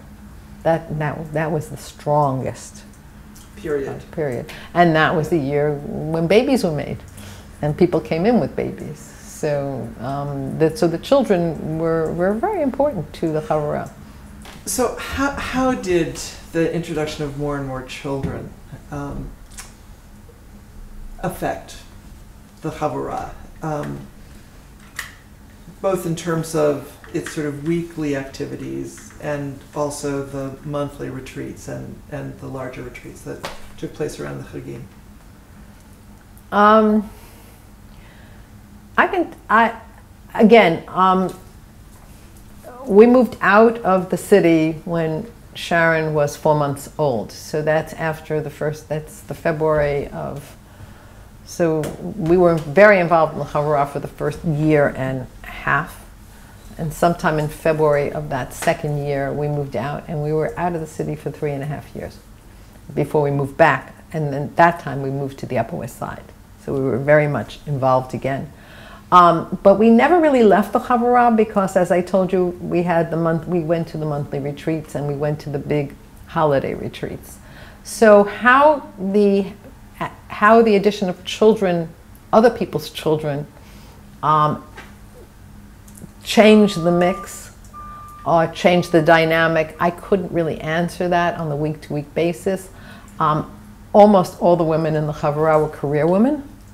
So they were working jobs, they were being mothers, they had nannies at home with the babies or daycare. Um, fathers were hopefully, you know, liberated and they were doing their, their burden of childcare. So I don't know how it affected the, um, the day-to-day. But um, it didn't change things on the retreats that much either. We didn't program for children. You did not. We did not program for children. Uh, they hung out, and they hung out with each other, and they ran around with each other. Um, so, the, of course, the little ones stayed with their parents, but the, as soon as you were four, you were running with the, with the crowd. And, um, and I know you're not interested in the later years of the Chavurah, but I think that those early years of the Chavurah were very impactful on the later years because the kids would program for themselves. And one of the things they did was they wrote plays. They were constantly writing plays. And they would huddle in some one of the bedrooms and um, I think my daughter, who was the oldest, uh, Sharon and Ilana and Judith, um, were doing the scripts.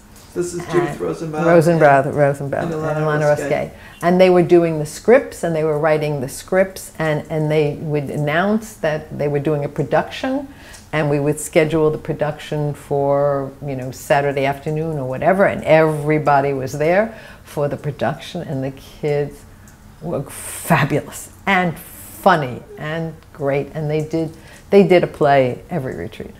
And that's what they were busy doing aside from running around. Um, and they they involved the very smallest kids. Every single child in the Havurah was given a part, not just the oldest ones. Did the plays have um, specific kinds of themes, or were, what, what were the plays about? Usually they were making fun of us. so we had a, um, I think it was a bar mitzvah re- retreat. Was it the bar mitzvah retreat? What do you mean by a bar mitzvah? We had a 13 year, we had a big celebration, 13 years. It might have been a 20 year, whatever it was, but the kids did another play. Now, this meant they had to prepare for this. It was a big retreat. We invited all the old members, you know, etc. And the kids, the, the kids did a retreat. And of Did a course, play. a lot of them were extrapolating about what we did in that first year. So they they dressed like hippies with bandanas, etc. And of course, they were all smoking weed. you know, that's what they thought we were doing in that first year. and one of them was me, and another one was somebody else, and they just they just they just got us. they they were devastating. They were devastating. They, they, these are smart kids. I They mean, knew they're, they're well. smart kids, and they knew us well. They grew up as a family, and that was the interesting thing. And I think that I want to mention that as important. Growing up in the Havurah was very important to my daughter, and very important to the um, uh, the Rosenbaum kids, and very important to um, all of them. And and they still see each other, and they still talk to each other, and they still meet when they're all in the city, and they go out to dinner. And we even tried to put some of the, the grandchildren together, etc. And, and that, of course, they have less of a bond. But these these kids, they know each other and they're cousins, and they really bonded in those years. And almost all of them have bemoaned the fact that they don't have anything like that now. They miss that that create that that bond of, of community that they made with these other kids on a monthly basis, pretty much, and certainly on the retreat holidays. Yeah. They knew each other well. Did they eventually, um, do you remember, for instance, any of the kids becoming old enough that they, and interested, that they would take part in the tefillah or any of the sort of, sort of more formalized aspects of what happened at a retreat? Good question. I don't think so. I don't remember that happening. I don't remember that happening. I don't think they cooked or cleaned either. After a while, of course, um, when we when, when the children became part of it, and when, when people were working, then and we had a little more money in our pockets, then we would go to retreat centers that cooked for us vegetarian food. So they weren't always Jewish places. Some of them were Protestant places, but they did. Or some of them were were, you know, um, vegan retreat places, and we always had um, um, vegetarian food cooked for us. So we we didn't have to bring food anymore, and that was after many years of a Havurah. Right. So let's turn now to the question of prayer, which was a central activity for some of the early Chavurot, although somewhat less so for the New York Chavurah. Not not really. No. Prayer was very important. Many people say that it was rather sporadic in the first year or so, other than on the monthly um, retreats, Shabbat retreats. Yes, and, and, and as I said before, I wasn't around um, during the weekends, so I don't I can't talk about that first year. I can only talk about the retreat, the monthly retreats and the holiday retreats, because those are the ones that I was part of. Um, so let's focus on those. Okay. Um, how would you describe what the, the what place did prayer have? How what was the role of prayer within the, the priorities of the Chavurah? Uh, it was definitely a high priority. I mean, it was just it was organized before we went on a retreat or um, or for any event. We definitely had our own services for maybe 20 years uh, for the high holidays for Rosh Hashanah and Yom Kippur. Um, it was very hard to transition to a regular synagogue after going um, being with the Chavurah for Rosh Hashanah and Yom Kippur. Um, and it was very hard to transition to a regular synagogue, period, after the experience of the Chavurah. Right. Or during the experience of the Chavurah. So, um, uh, But let's mainly focus on these early years. yeah, so so people took um, the assignments. Um, I'll do shacharit. Uh, somebody else would read the Torah. Somebody else would do the Haftorah. Somebody else would do Musaf. Uh, so the assignments were done. Somebody else gave a Dvar Torah.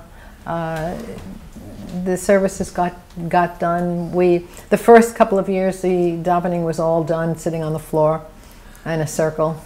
Um, afterwards, Cushions or just on the floor? straight on the floor. Afterward, you know, people's, you know, we got a little older, we moved to chairs. But, but mostly, mostly uh, the first couple of years, um, we had some chairs, we had some sofas, but most of it was on the on the floor. Did you have a Sefer Torah the first Of course, years? we always had a Sefer Torah, and with that Sefer, Sefer Torah always came on retreats. Um, So someone would drive it up. Yes, with the food before before Shabbat and after Shabbat. Yes, there was always yes the Sefer Torah was always there. The And Siddurim were always there. Um, before Sukkot, um, somebody was responsible for buying all the stuff to build the sukkah. Two or three or four people uh, volunteered to go up the morning of the retreat to build the sukkah. It was a big deal building the sukkah. And once my second husband became involved, uh, the architect, um, uh, he was always um, recruited to, um, to, to head the building of the sukkah committee. So, Um, what would, how would you characterize the attitude towards um, and the practice regarding women's roles in, in public worship in the beginning? you know, um, feminism was was was sort of very new at that point, um, and I said to you that most of the the members, except for one, were all men. So the, all the davening was done basically by men. But but quite quickly afterwards, um, you know, we had Paula Hyman. Uh, women started taking um, Martha. We had women started taking um, more of role in tefillah um, and in in Dvar Torah and in in everything. So I would say that.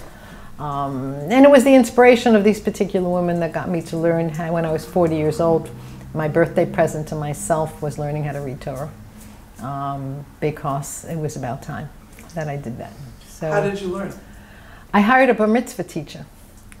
I hired a student at the seminary who taught bar mitzvah, and he taught me how to read Torah. So I read Torah, and I read Torah for the Chavra retreats, um, for the holiday retreats, not a regular, because I never got really good at it. And I still read Torah from time to time for for big events. Somebody will say it's you know the offer of my daughter. Will you will you take a piece or you know certainly for my um, for my uh, granddaughter's bat mitzvah and, and every one of my grandson's bar mitzvahs, uh, I read I read Torah for those events, and so did my daughter, and she really had to memorize it because she never really learned. She we both had to memorize it. By this point, I, I don't know how to read Torah any. I don't read the trup by sight anymore. Right. But you, but you did learn early. I did, I did. I, I knew how to do it, and I learned a whole um, sedra, a whole um, um, Parsha. parsha, right?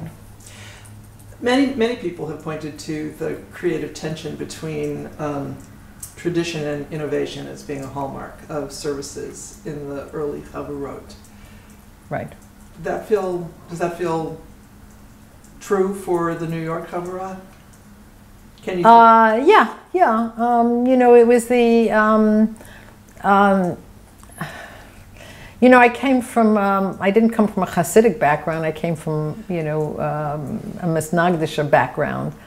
Uh, and um, the, you know, um, the, the spiritualism that was brought into the, the service, you know, I, um, I was one of the eye rollers the roller of eyes at the outset because you said know- you were somewhat cynical about sitting on the floor and humming. Yes, I was somewhat cynical about sitting on the floor and humming, and um, and you know I got into it. I definitely, definitely got into it, and so I was I was trans I was transformed. I came over to the light side. I came to the light side. Yes, I, I, I decided I liked it. So, but What did you like about it? What what brought you over? Brought you over? Um, the relaxation of it, um, the, the, the, the oneness of, of the kahal, the oneness of the group, um, the feeling that there might be some listening entity, um, everything that it's supposed to. I guess if you really look at what what that kind of thing is supposed to, how it's supposed to move you and bring you to a different place, it eventually brought me to that place. So I was, yes, I, I bought it. I drank the Kool Aid. Uh, Reb Zalman, Shlomo Carlebach, excuse me, Carlebach, and, and others were important influences in in um, the experience of davening and also music in in uh, Jewish prayer at Havurat Shalom at Fabrangen. Was that true? Would you say at the New York Havurah? No.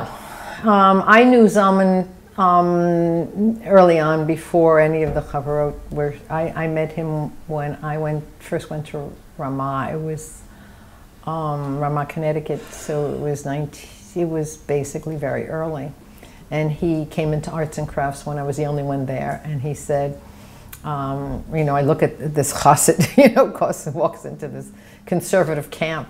What did he look like? He looked like a sloppy chassid. What does that mean? Well, he wasn't wearing his his bekasha. He wasn't wearing the coat. He was, but he had the full beard and the and the talis hanging out. You know, the tzitzis hanging. You know, the tzitzis completely revealed and and long pants and black shoes and you know he looked like a chassid. He looked terribly out of place. And he walks into my arts and crafts. I was the only one there, and he said, um, and I said, "Can I help you?" And he said. Um, um, I'm looking to find a space from the Talisarium. I said, The what? he said, The Talisarium. And I said, What's a Talisarium? And he said, Oh, everybody in this camp is going to make a talis. And I said, Okay. And he found a space, an outdoor space under the arts and crafts shack, which he decorated as a talisarium. What And do you mean every under? well, it was an elevated, um, was elevated on poles. The arts and crafts shack was elevated, and he, he found this thing with a six foot ceiling on the underside of the open open sides? completely open. that that was his space, and he loved it, and it was talisarium, and everybody made a talis that summer. It was um, it was, uh, and he was very charismatic. He was very charismatic. Girls too. I believe so. I think girls did, or maybe the next year girls did. I was friendly. His daughter was in camp that year, and um, and I bunked with her, and we, we became friends for that summer. His daughter Miriam. Never saw her again. Um, so, did Zalman have? Did he ever come to the New York Havurah? I don't remember Zalman as coming to the New York Havurah. He might have when I wasn't there. So um, uh, uh, no, I, I don't remember him being there. Do you um, recall any other kinds of um, experimentation or innovations that from other um, religious traditions or secular traditions that people brought in, like poetry? Yeah, uh, we, we were we were we were tried very hard to bring other things in. We brought in poetry, we brought in music, we brought in um, uh, and not me because I, I I wasn't into those things. Um, brought in um, um, especially when Richie came. Richie, Richie Siegel Siegel. came, right? He, a lot of you know humming on the floor, sitting on the floor and humming. Do you uh, recall a service that he did like that? All of them, yes, of course. Can you describe one? What would happen? And we all sat on, we all got into the nigun. We all resonated with the nigun. Uh, it was it was very nice. I mean, it was really very nice. I started very cynical, but a couple of us started cynical. I wasn't the only cynical person there. Uh, but, you know, we all got into it. It eventually got into it. So, um, uh, but they were, you know, it was musical instruments that were not part of my tradition, um, at, either in conservative synagogues at that time or um, um, alternate, especially for the high holidays, alternate prayers for, you know, sending the goat out, the sacrifice of the goat, um, alternate prayers for, um, you know, now all the synagogues do that. All the conservative synagogues do do these these alternate um, memorial things um, but, um, but none of my synagogues were doing it at the time, and so that was pretty innovative. So they were new, these were new. Yeah, it was new to me and, and new to all of us. So we were just, you know, trying to make our way through making, making the davening and making the prayer more relevant to us as who we were, um, bringing in some political statements. Um, uh, you know, how do we deal with the prayer for Israel? How do we deal with the prayer for the United States when the war in Vietnam is going on? Um, uh, these were all issues that, that we talked about and dealt with. Um, and how would you deal, for instance, with prayer for the United States when we rewrote it? I'm sure we rewrote it. Um, you know, it's it's um, even even the prayer for Israel right now is you know support, totally supporting the government and supporting the um, the tzava and supporting whatever. Now, um, in my synagogue, it doesn't read like it reads in my brother's Orthodox synagogue.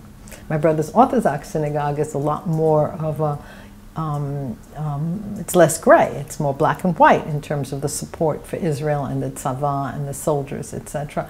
And in, in my synagogue, the prayer is a little bit more modified, definitely in support of Israel, but um, much more um, modified as, you know, you know, hoping that Israel will be a light for peace in the world etc.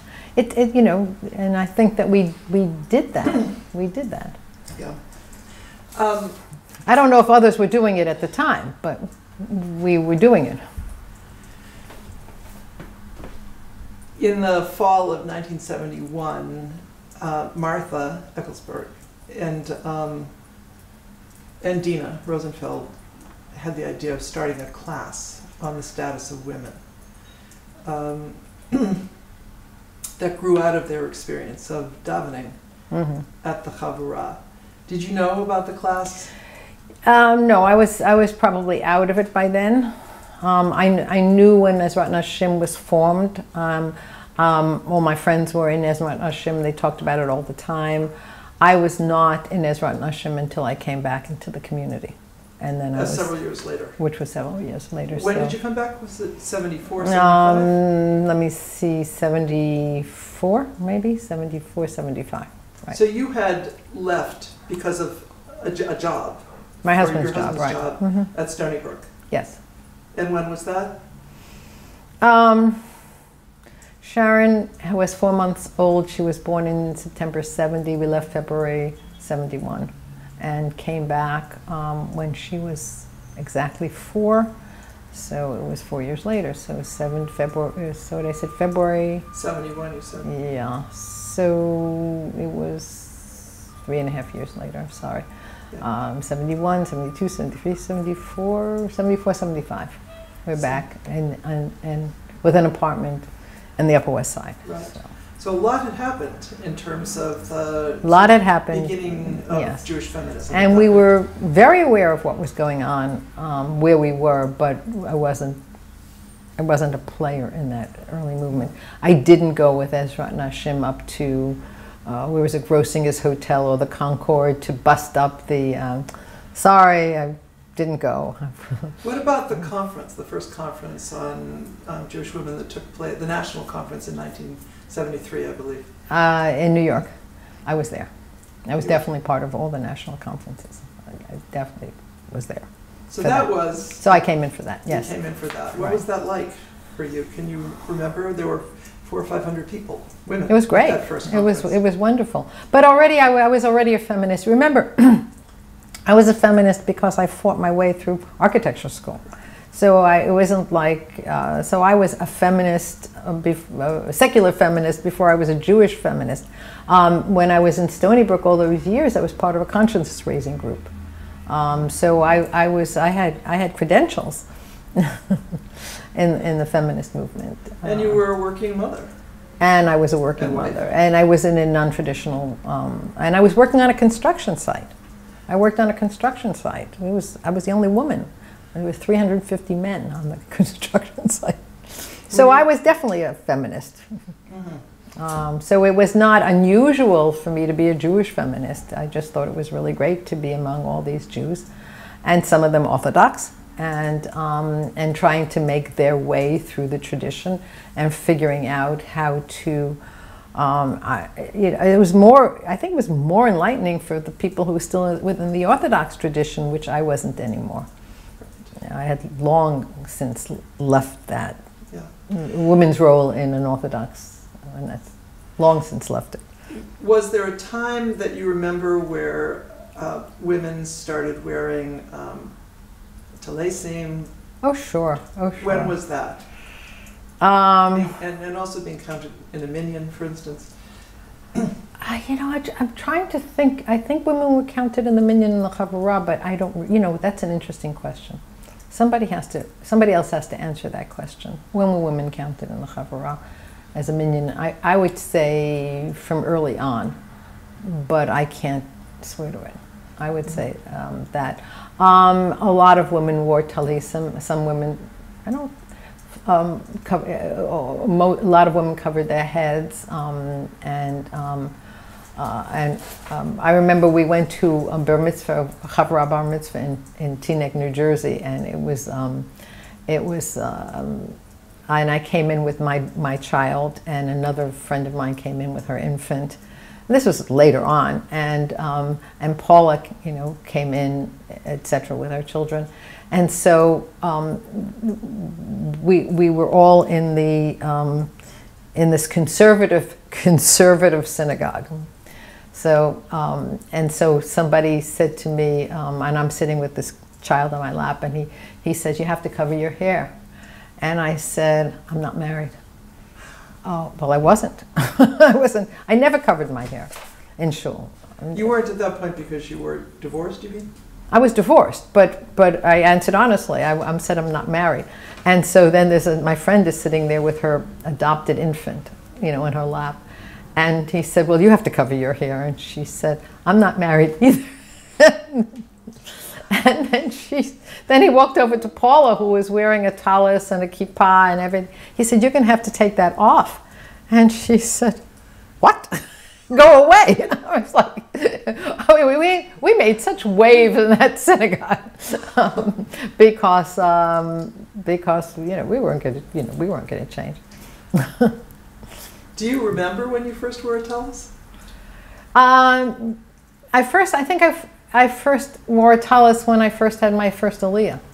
Um, so I borrowed my husband's tallis and I said, I'm going to the Torah, I need a tallis. When was that? um, I don't know, probably I was in my 30s, probably in my 30s, maybe in my 20s. I have to really tell you that um, going to the Torah, either for an aliyah or to read, especially to read Torah, is profound in my life. I don't do it too often, but it is profound. It is a very, very important and totally move, moving moment for me every time I do it. More than almost anything else I do Jewishly, standing at the Torah with the Yad and reading Torah from that print moves me beyond almost anything religiously that I've ever done.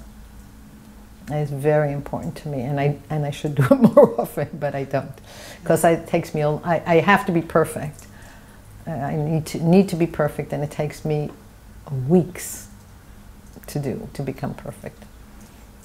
Perfect in the reading and perfect in the um, trouble. I need to be perfect. If I didn't need to be perfect, I would do it more often. But it is one of my more profound moments, Jewishly. Um, do you remember um, from that period in the 70s, as, and as you were saying, the, the um, sort of the, the height, the, the strongest period in the New York Havurah was not the first year, but starting in the second, third, fourth, and in that period in the mid and into the mid and later, at least mid 70s. past that, past that. pretty much going to the 80s, I would say. The Chavurah was pretty strong, very, very strong for a very long time. Do you remember um, any significant in your in your memory anyway? First first time women did various kinds of things. Um, Shliach Tzibor, reading Torah, other people's first aliyahs, bat mitzvahs, and any of those kinds of things. Not specific. Not specifically. Mm-mm.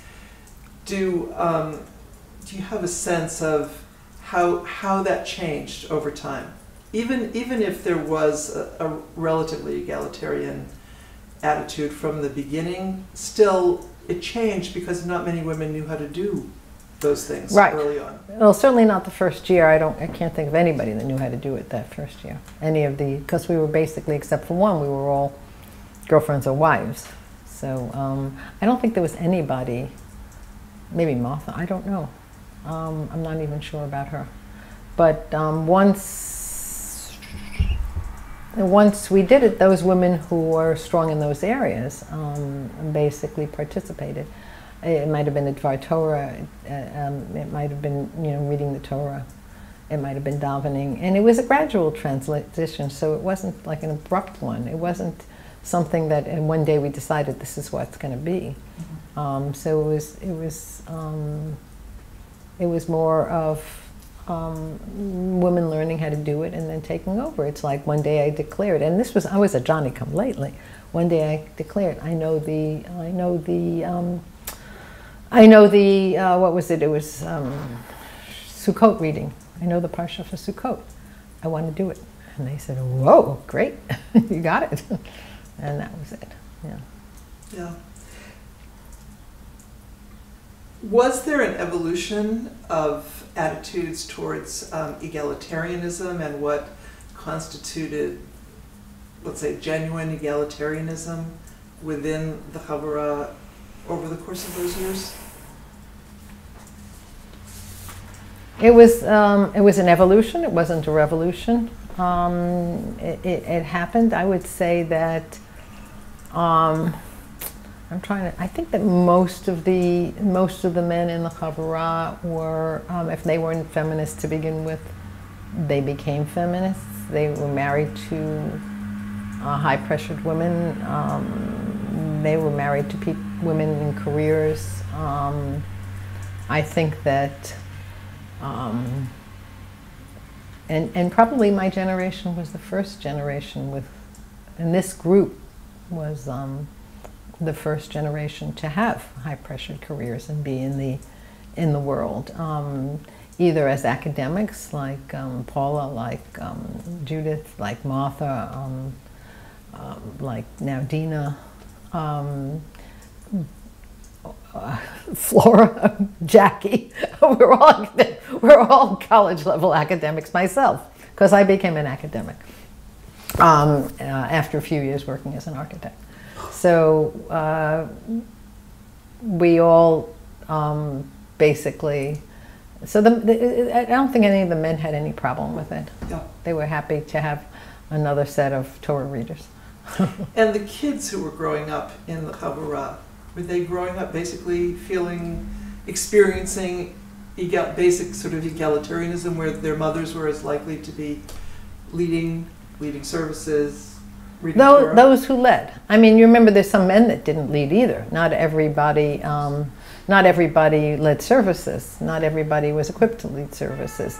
So there were women that were, um, a, a, a, probably a minority in the beginning, and the majority of the, of the work went to the men.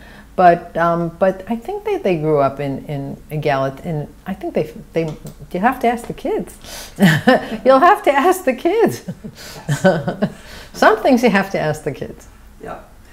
So let's just uh, turn to the issue of social justice and social activism for a minute because uh, the New York Havurah, as the other Havurot, were founded and grounded in what Meredith Wucher called the nexus of uh, political and religious values, that a lot of people Right. were looking for that, Yeah. actually. Yeah. Um, how important was political activism to you personally as a component of Very important. Very important. It was a very important component. component of what I did. Um, it was um, it, uh, the demonstrations that I went to were with the Chavara. The Washington trips I made were always with the Chavara. I wasn't independent. I didn't get on a until later did I get on a bus and and go to a demonstration in Washington, but it was always with the Chavara. Um, we marched together. Um, sometimes our shift for particular events were four o'clock in the morning. We set the alarm. We got up at four o'clock in the morning, and we marched until eight o'clock in the morning. Um, it was it was a very it was it was one of the um, very important highlights of of the Chavara. Now I have to also say that once I was knew I was pregnant, um, uh, and I didn't. I, I once I was visibly pregnant, I was afraid of being jostled, so um, I didn't go anymore. But so for but for the first year, we must have gone down to Washington quite a few times. Did you go? Did you and David go on the the, the march on Washington in '69? Yes. Yeah, which Yeah. was the the mobilization. Yeah. I, yeah. And we went on March on Washington. We went, went, went a few times. I would say three times, maybe 4 in that first year and a half. Um, well, let me see. Yeah, I got the first year before I was um, terribly pregnant or had a newborn infant. And where would you stay when you were in Washington? There was um, uh, one time we stayed in Jerry Serotta's sister's studio apartment. Jerry Serotta's sister uh, had a studio apartment. We must have been 20 people that descended on her in that apartment. So she had um, one bathroom, and um, and we were 21 people if you count her. And I think it was Jerry's sister. I think it was Jerry's sister.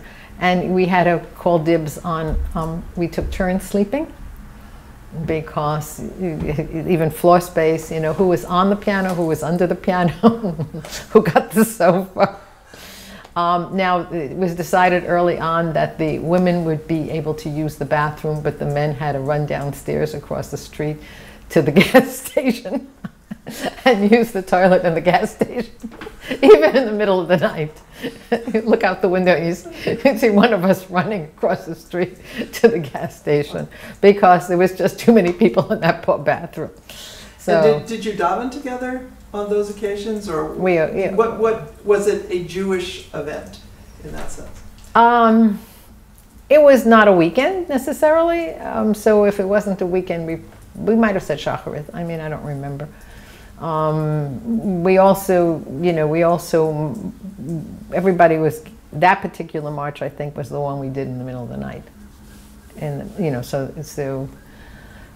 It was. I don't remember that. I don't remember davening. I mean, I don't think we were there for weekends. Um, for that particular, those particular times. Um, remember, we always had, you know, I was still Shomer Shabbos at that point.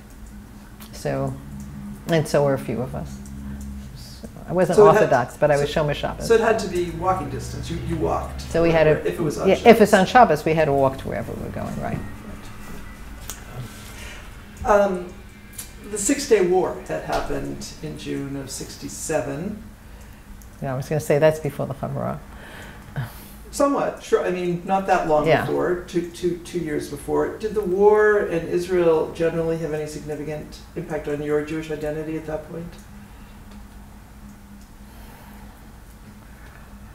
Not my Jewish identity. I I've always had a very strong Jewish identity. I don't think that's ever been challenged. Um, I don't think I've ever challenged my Jewish identity. Um, it was it was a profound, totally terrifying, scary moment the, leading up to the Six Day War. Um, happy to know that it turned out, which we thought was great. Now challenging and rethinking how great all that territory was. But at that time, we thought it was terrific. Right. Um, In addition to Ezrat Nashim, another significant organization that came out of uh, the New York Havurah was Breira, Yeah. in, which was formed in '73 right. and had its offices office Uh-huh. in the apartment um, early Right. on. In its, it was very short lived, about four four Mhm. years or so. Um, um, Were you aware of Breira? I was aware of Breira. I was aware of the politics of Breira. I was very sympathetic to the politics, but I wasn't in town at that time. So I wasn't, again, I was, just like I wasn't part of Ezrat Nashim, I was aware of what was going on, but was not, we were not a part of it. Yeah. Um, many commentators have noted that political activism um, as a communal activity faded over time.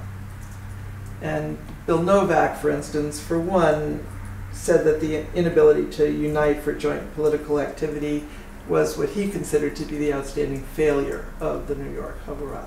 He wrote that in 1970, so it was you know relatively early on. Mm, yeah, I would not agree with him on that in 1970. Maybe by 74 or 75 or 76, yes. But um, you know, it also depended on how um, how active you were and how aware you were. I mean, Jerry Serotta was always very, very, very involved politically. I mean, you interviewed him; you must know that. Uh, very, very involved um, politically and very, very, very active um, on the left. Um, so, um, I, if he said that, I would, I would, I would say maybe that was his perception. Mm -hmm. But I'm surprised that Bill Novak said it because until 71, we always got out the vote. We were always marching in Washington, it seemed to me. And, and, and I stopped doing it when I was visibly pregnant. And also the Vietnam War came to an end. And then that, you know, that happened too. So there was, you know, not a whole lot to protest. Um, whether we were sort of um, being the very politically active, um, pro-Palestinian, pro-peace. Um, I don't remember. I don't remember coming as a group in that, moving in it as a group in that direction. Maybe he was talking about that. I don't know. But as far as the war in Vietnam goes, I wouldn't even agree with that statement in 1970. Mm, interesting. Yeah. Okay, so I want to move to sort of some larger reflections on what the Chavurah meant, uh-huh. both um, in your own life um, and also its implications and impact on the larger Jewish community um, over the past half century. Um, so you were a member of the New York Chavurah from its inception and onward until and onward and onward until, right. as one one member said uh, to us, it quote, faded out. What would you say were the most significant ways that the New York Havurah um, evolved or changed over the course of the, the 70s and into the 80s? Well, you know, what happened was that the, the most intense years, as I said, probably were the first five, six, or seven of it. Um, very, very intense. You know, the, the regular davening, the, um, the um, the high holiday services, the regular retreats, etc. And then people got very, very intense. Eh, people, first of all, a lot of people moved away. A lot of people moved away. They still kept their ties, but they moved away. And, um, and, um, and then they had ch children.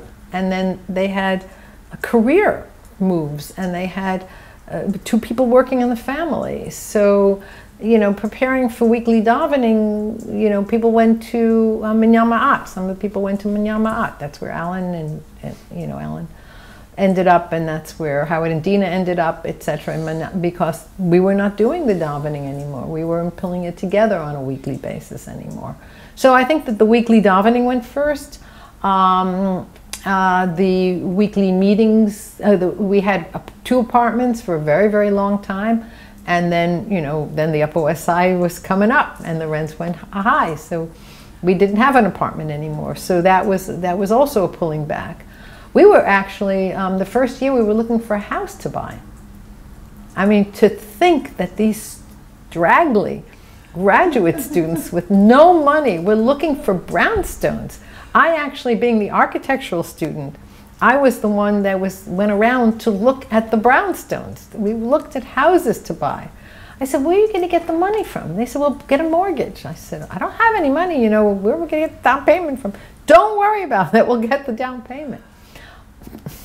so we were, you know, we were really looking to live communally in that first year. Um, and then, you know, little by little, it faded away. Um, but we still, um, I mean, we still get together as a Chavurah at least once a year um, on uh, Rosh Hashanah. Um, When, when on Rosh Hashanah do you get uh, after everybody goes to shul on the afternoon of Tashlich, we get together as a community, uh, past members, current members. We sometimes get 40 people for lunch. And where do you meet? Uh, here, once on my roof. Um, Apart people's pe- homes. people's homes, that's all we have. And people bring food um, to this, and we have a communal dinner, and then we go to Tashlich together. So the Chavurah still lives in that. Um, Sunday night, I'm going to dinner at a friend's house, and it's all Chavurah people. Um, my, my strongest, longest standing friends um, are still my Chavurah friends. Um, I, I don't have any element, elementary school friends anymore. I don't have um, any um, friends from um, high school anymore. Um, but my f- couple of my strong friends from Pratt, I still have. And mm, the basis of my friendships, long term friendships, are from the New York Chavurah. And what's striking is that that's true for so many, which is why you get 40 people. which is why we get 40 people right so and and um, and when somebody comes from boston or somebody comes in from montreal or somebody flies in from the coast Issa Aaron comes in from the coast or the hundreds come in from whatever we get the call you know who's coming to dinner how many are we and we make a reservation. You know and there might be 12 and there might be 15 people that will get together to say hi to that person who's coming who we haven't seen in a while.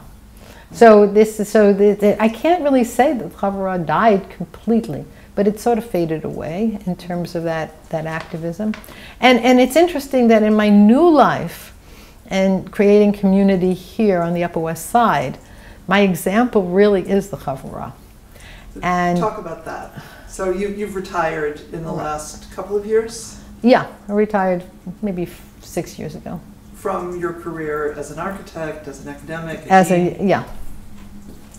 Um, and um, at some point, and, and my, my husband Herman was the, the impetus behind the Bloomingdale Aging in Place. That um, he said that there was a community in uh, Boston, Beacon Hill. There was a, um, uh, an aging in place organization called Beacon Hill, and it was in the Times. There was a whole article about it in the Times. And he said, You know, we should be doing that on the Upper West Side. Not him, God forbid. Somebody should be doing that on the Upper West Side. So um, he gave me the article, and then um, we met. We have a, we had a very active we have a very active block association here on the street, and so we took that idea to the president of the block association um, in the elevator, and she said, "Oh, that's a good idea. Why don't you come to a board meeting and talk about it?" So we went to a board meeting and we talked about that, um, and then sh- she took it to the neighboring block association president, and they got very excited about the idea. And we were invited to become part of a steering committee of 12 people, and we put together Bloomingdale Aging in Place. Where did Uh, the name come from? this is this area is a Bloomingdale Road. Broadway was called the Bloomingdale Road in this section. It's the Boston Post Road. It's the road that went to Boston. And um, the, the, the, our neighborhood branch library is the Bloomingdale Library. Um, so it's not, it's historically noted. And um, we had a smaller border, and now we have a slightly bigger border, but it's a geographic area. We have no age limit. Um, we only have a geographic uh, area. And it was to help people who were um, aging. But we, we decided early on we weren't going to charge any, anybody anything. We weren't going to pay anybody anything. So it's all volunteer. And we have, by this time, we must have 1,300 members. Act, and, and half of them are very active. So how do you see it as, Uh, How did I see it as well? First of all, when you're part of a chavurah, then you learn how to do lots of things. You learn how to organize things. You learn how to keep lists. You learn how to.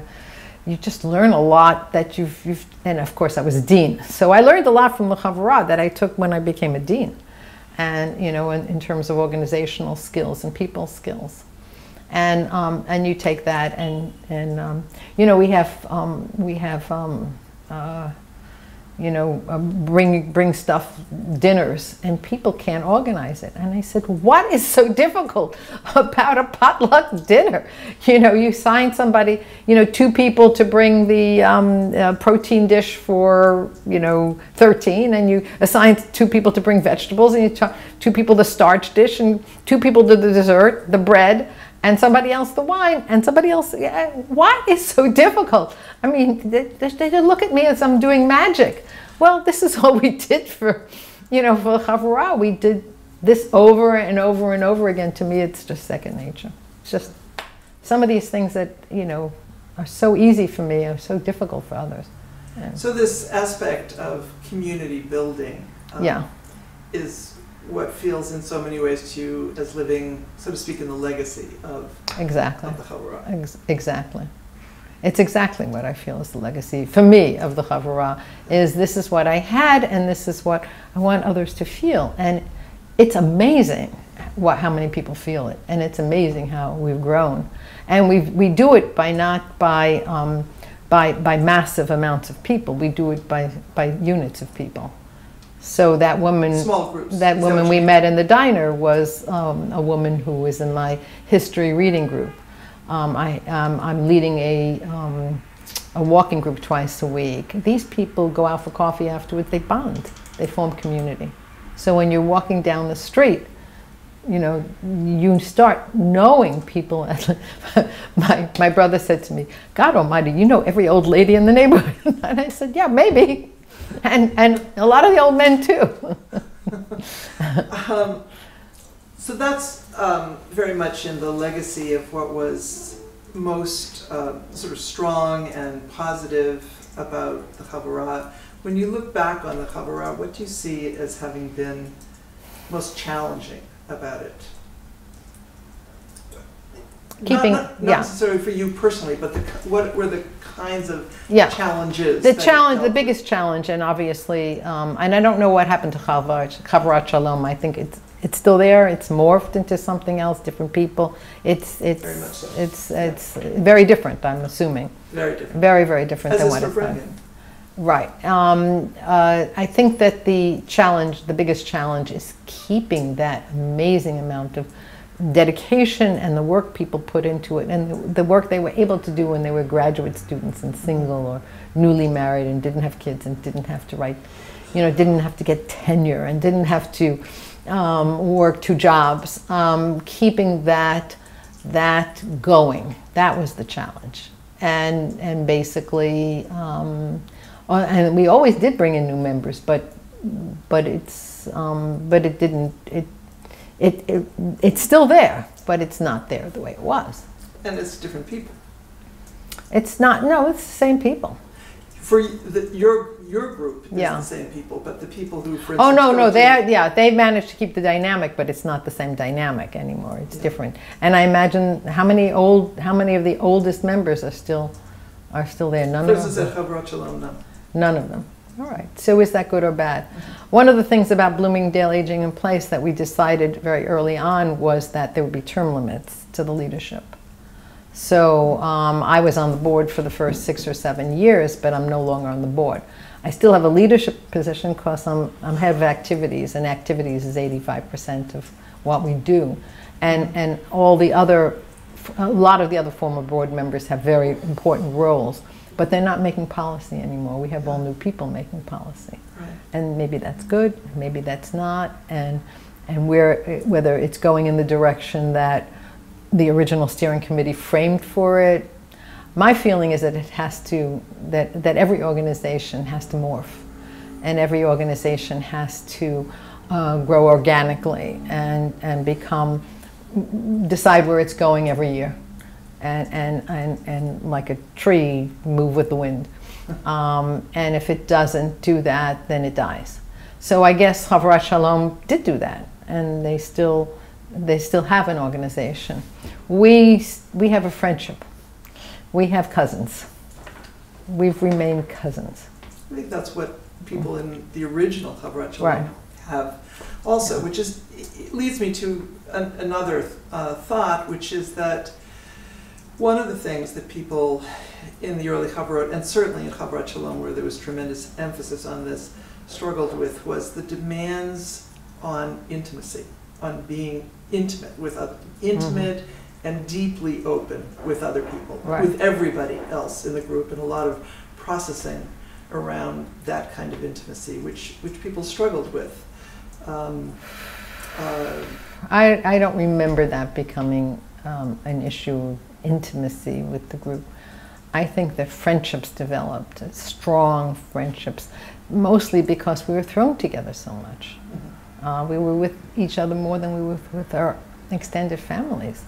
We were with each other more often than we were with people we went to school with, with any of our other friends. So when you saw people twice a week or three days a week, that's a lot. indeed. That's a lot. So you know, you, I guess you, you know, I know all the tragedies and the high points of all these people's lives. I care about these people. And yet, there were events that took place. Some there were some divorces. There were um, Right. uh, people who uh, struggled with homo homosexuality or homoerotic feelings that surfaced for them within the group, etc. That that sort of complicated relationships within the group. Is that fair? That's fair. That's fair. Uh, whether it broke us, it didn't break us. Right. and that was that's the important part whether we had were challenged by it um, yes we were challenged by it um, whether the the people that you're talking about thrust it in our faces and said you know you know take it or leave it they didn't they stepped back they stepped back and only stepped back in when they felt that the waters were warm. Um, that's my reading of of what they did. Um, so it didn't it didn't in a, in a lot of ways it didn't hurt us. Um, but it was it was it was life. I mean it was we we just like any family any any group of people any any neighbor any block um, that comes close together we had the same challenges everybody in our generations were were feeling marriages that broke up even even within you know, and, and you don't even probably know all of them. you probably only know the ones that your people you're interviewing, but there were others, other marriages that broke up because of intimacy within, Within the group. yeah, within the group, right? Did you ever become involved with other Chavurot um, over the course of what happened with your personal sort of journey? My personal journey, um, no, I never because I was always in New York, so I never became part of. I was always part of the New York Havurah. Um, we had um, um, joint um, retreat. We had one joint retreat with the Chavrat Shalom. I think in the second year. I remember because I went up. I went to Boston with, with the baby. Did you ever go to Weiss's farm? Any of the retreats at Weiss's farm? The inter. Oh, the Inter ones? No, I never became part of the Inter the Weiss's farm. Mhm. Maybe because it started when I was out, and I just I just never became part of it. And what about the the uh, national Chavurah? I never became, you know, aware of it, but I never participated. Didn't in it. appeal to you? It appealed. Um, it appealed, but um, either I was in the middle of a divorce at the time, or I had a new relationship. It, I just never went. Yeah. I never went. Nobody actually said, you know, Phyllis, you got to come. I'm making you a reservation. I mean, sometimes you need somebody to drag you into it. True, true. would, would you say that there are enduring aspects of the Chavurah vision that continue to motivate you in, in your life, um, in your Jewish life, and, in, and generally speaking too? I mean, did you join a synagogue, for instance? Did you? Are there? Are there? I mean, clearly the issue of community has continued to be very important to me, right? Um, yeah, Jew- Jewishly, I was. I sadly joined. I sadly needed to join a synagogue because I needed to to um, to um, belong to a community once the Chavurah wasn't davening. So, Yeah. so I, I, I joined a, synagogue. I still belong to a synagogue. Um, I'm, I, I- I'm not a, um, a weekly worshiper. I'm not. That's not who I am. So, anymore. Are there any ways in which you feel like your um, your Jewish life, your ideas about Judaism and about Jewish life have diverged significantly from what you what was important to you during your Chavurah period? No, I don't think so. I think that those were very formative years in terms of egalitarianism, in terms of, um, of belief, and in terms of um, my morphing from, from an Orthodox woman to a non Orthodox woman, let's put it this way. Um, um in terms of my, um, um, my commitment to Judaism, in terms of my identity as a Jew. Um, I think that being part of the Chavurah um, kept me very much in the fold when I might have drifted off from it uh, at that point. Um, uh, still does, probably. Do, do you still consider yourself a, quote, Chavurah Jew? Yes. I never really thought of it that way, but how quickly the, the yes came out would tell you. Yes. I haven't thought about it so as we were saying, in the course of your career, you've worked as an academic, you've worked as a practicing architect, you've worked um, as a dean, um, and you you had a private practice. Are there any ways in which your chavurah experience had an impact on your vision for yourself professionally or in your work? It's hard to say. I mean, it's hard to come up with a glib answer. Um,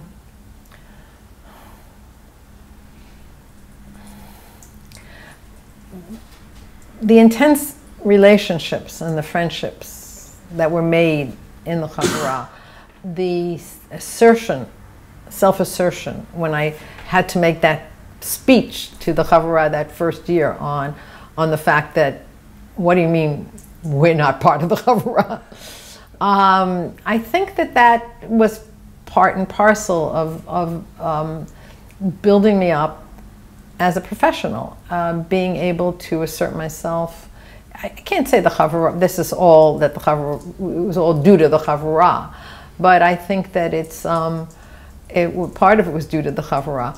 I had the first baby in the chavurah, so um, that first year, and I had no intention of breastfeeding. No intention of breastfeeding. But they, those women, they clamored on me. I mean, these, these 22 year olds, they were like, what? What do you mean? You got to breastfeed. You have to go long to la leche. You have to do get the, you know. We didn't even have pumps in those days. It was pre-pump days. You have to you know you have to well you have to breastfeed. So um, when I went to the hospital and, they, and I said I'm breastfeeding and they they said what? no, you know, I can't breastfeed here. I said I'm breastfeeding.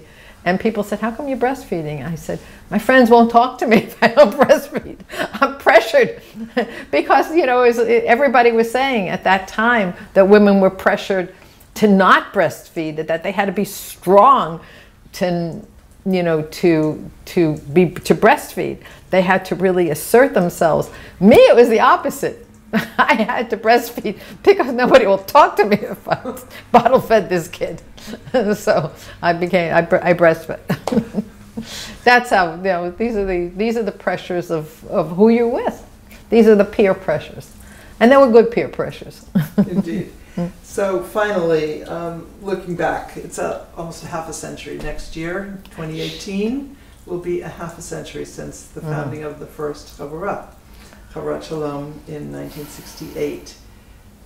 So what would you say have been the Chavurah's most important contributions as we sort of are moving really? Societally, societally. Yeah. I think that the Chavurah movement in general, those first three Chavurot, um, were looked at, at by synagogues as the way to go. And I think that the impact um, on synagogues was to start their own, whatever they called, little Chavurah, Chavurot within the synagogue movement. I know that that was done. Um, and also the introduction of um, alternate means of, of prayer, of, of, of, guitars and poetry and, and, and readings during services, etc. I don't know if it was done much before. Uh, I'm not sure. Um, the introduction of taking the nigun to the next level and after, you know, the la la la la la's, the eternal la la la la la's, that's definitely Um, the alternative um, um, renew, Jewish renewal movement is a Chavurah uh, outcome. Um, would they have done it without the Chavurah? Who, who knows? So I think that on, on Jewish life, certainly, um, the Chavurah um, collectively, uh, Chavurah movement definitely impacted um, Judaism. I think it had a, a, a big impact on it. Um, uh, whether that legacy will survive, I think it will. I think that that innovativeness and that uh, forming community definitely. And you know, here I am in a large synagogue, happy to be sitting in the back pew and just letting it wash over me. I'm very happy to do that now. But still, Still, and still very involved in creating community. and still in another way, very involved in creating community. Phyllis, thank you so much. It's been Oh. really, really wonderful Okay. to talk to you. Right. And uh, we're very grateful. Thanks.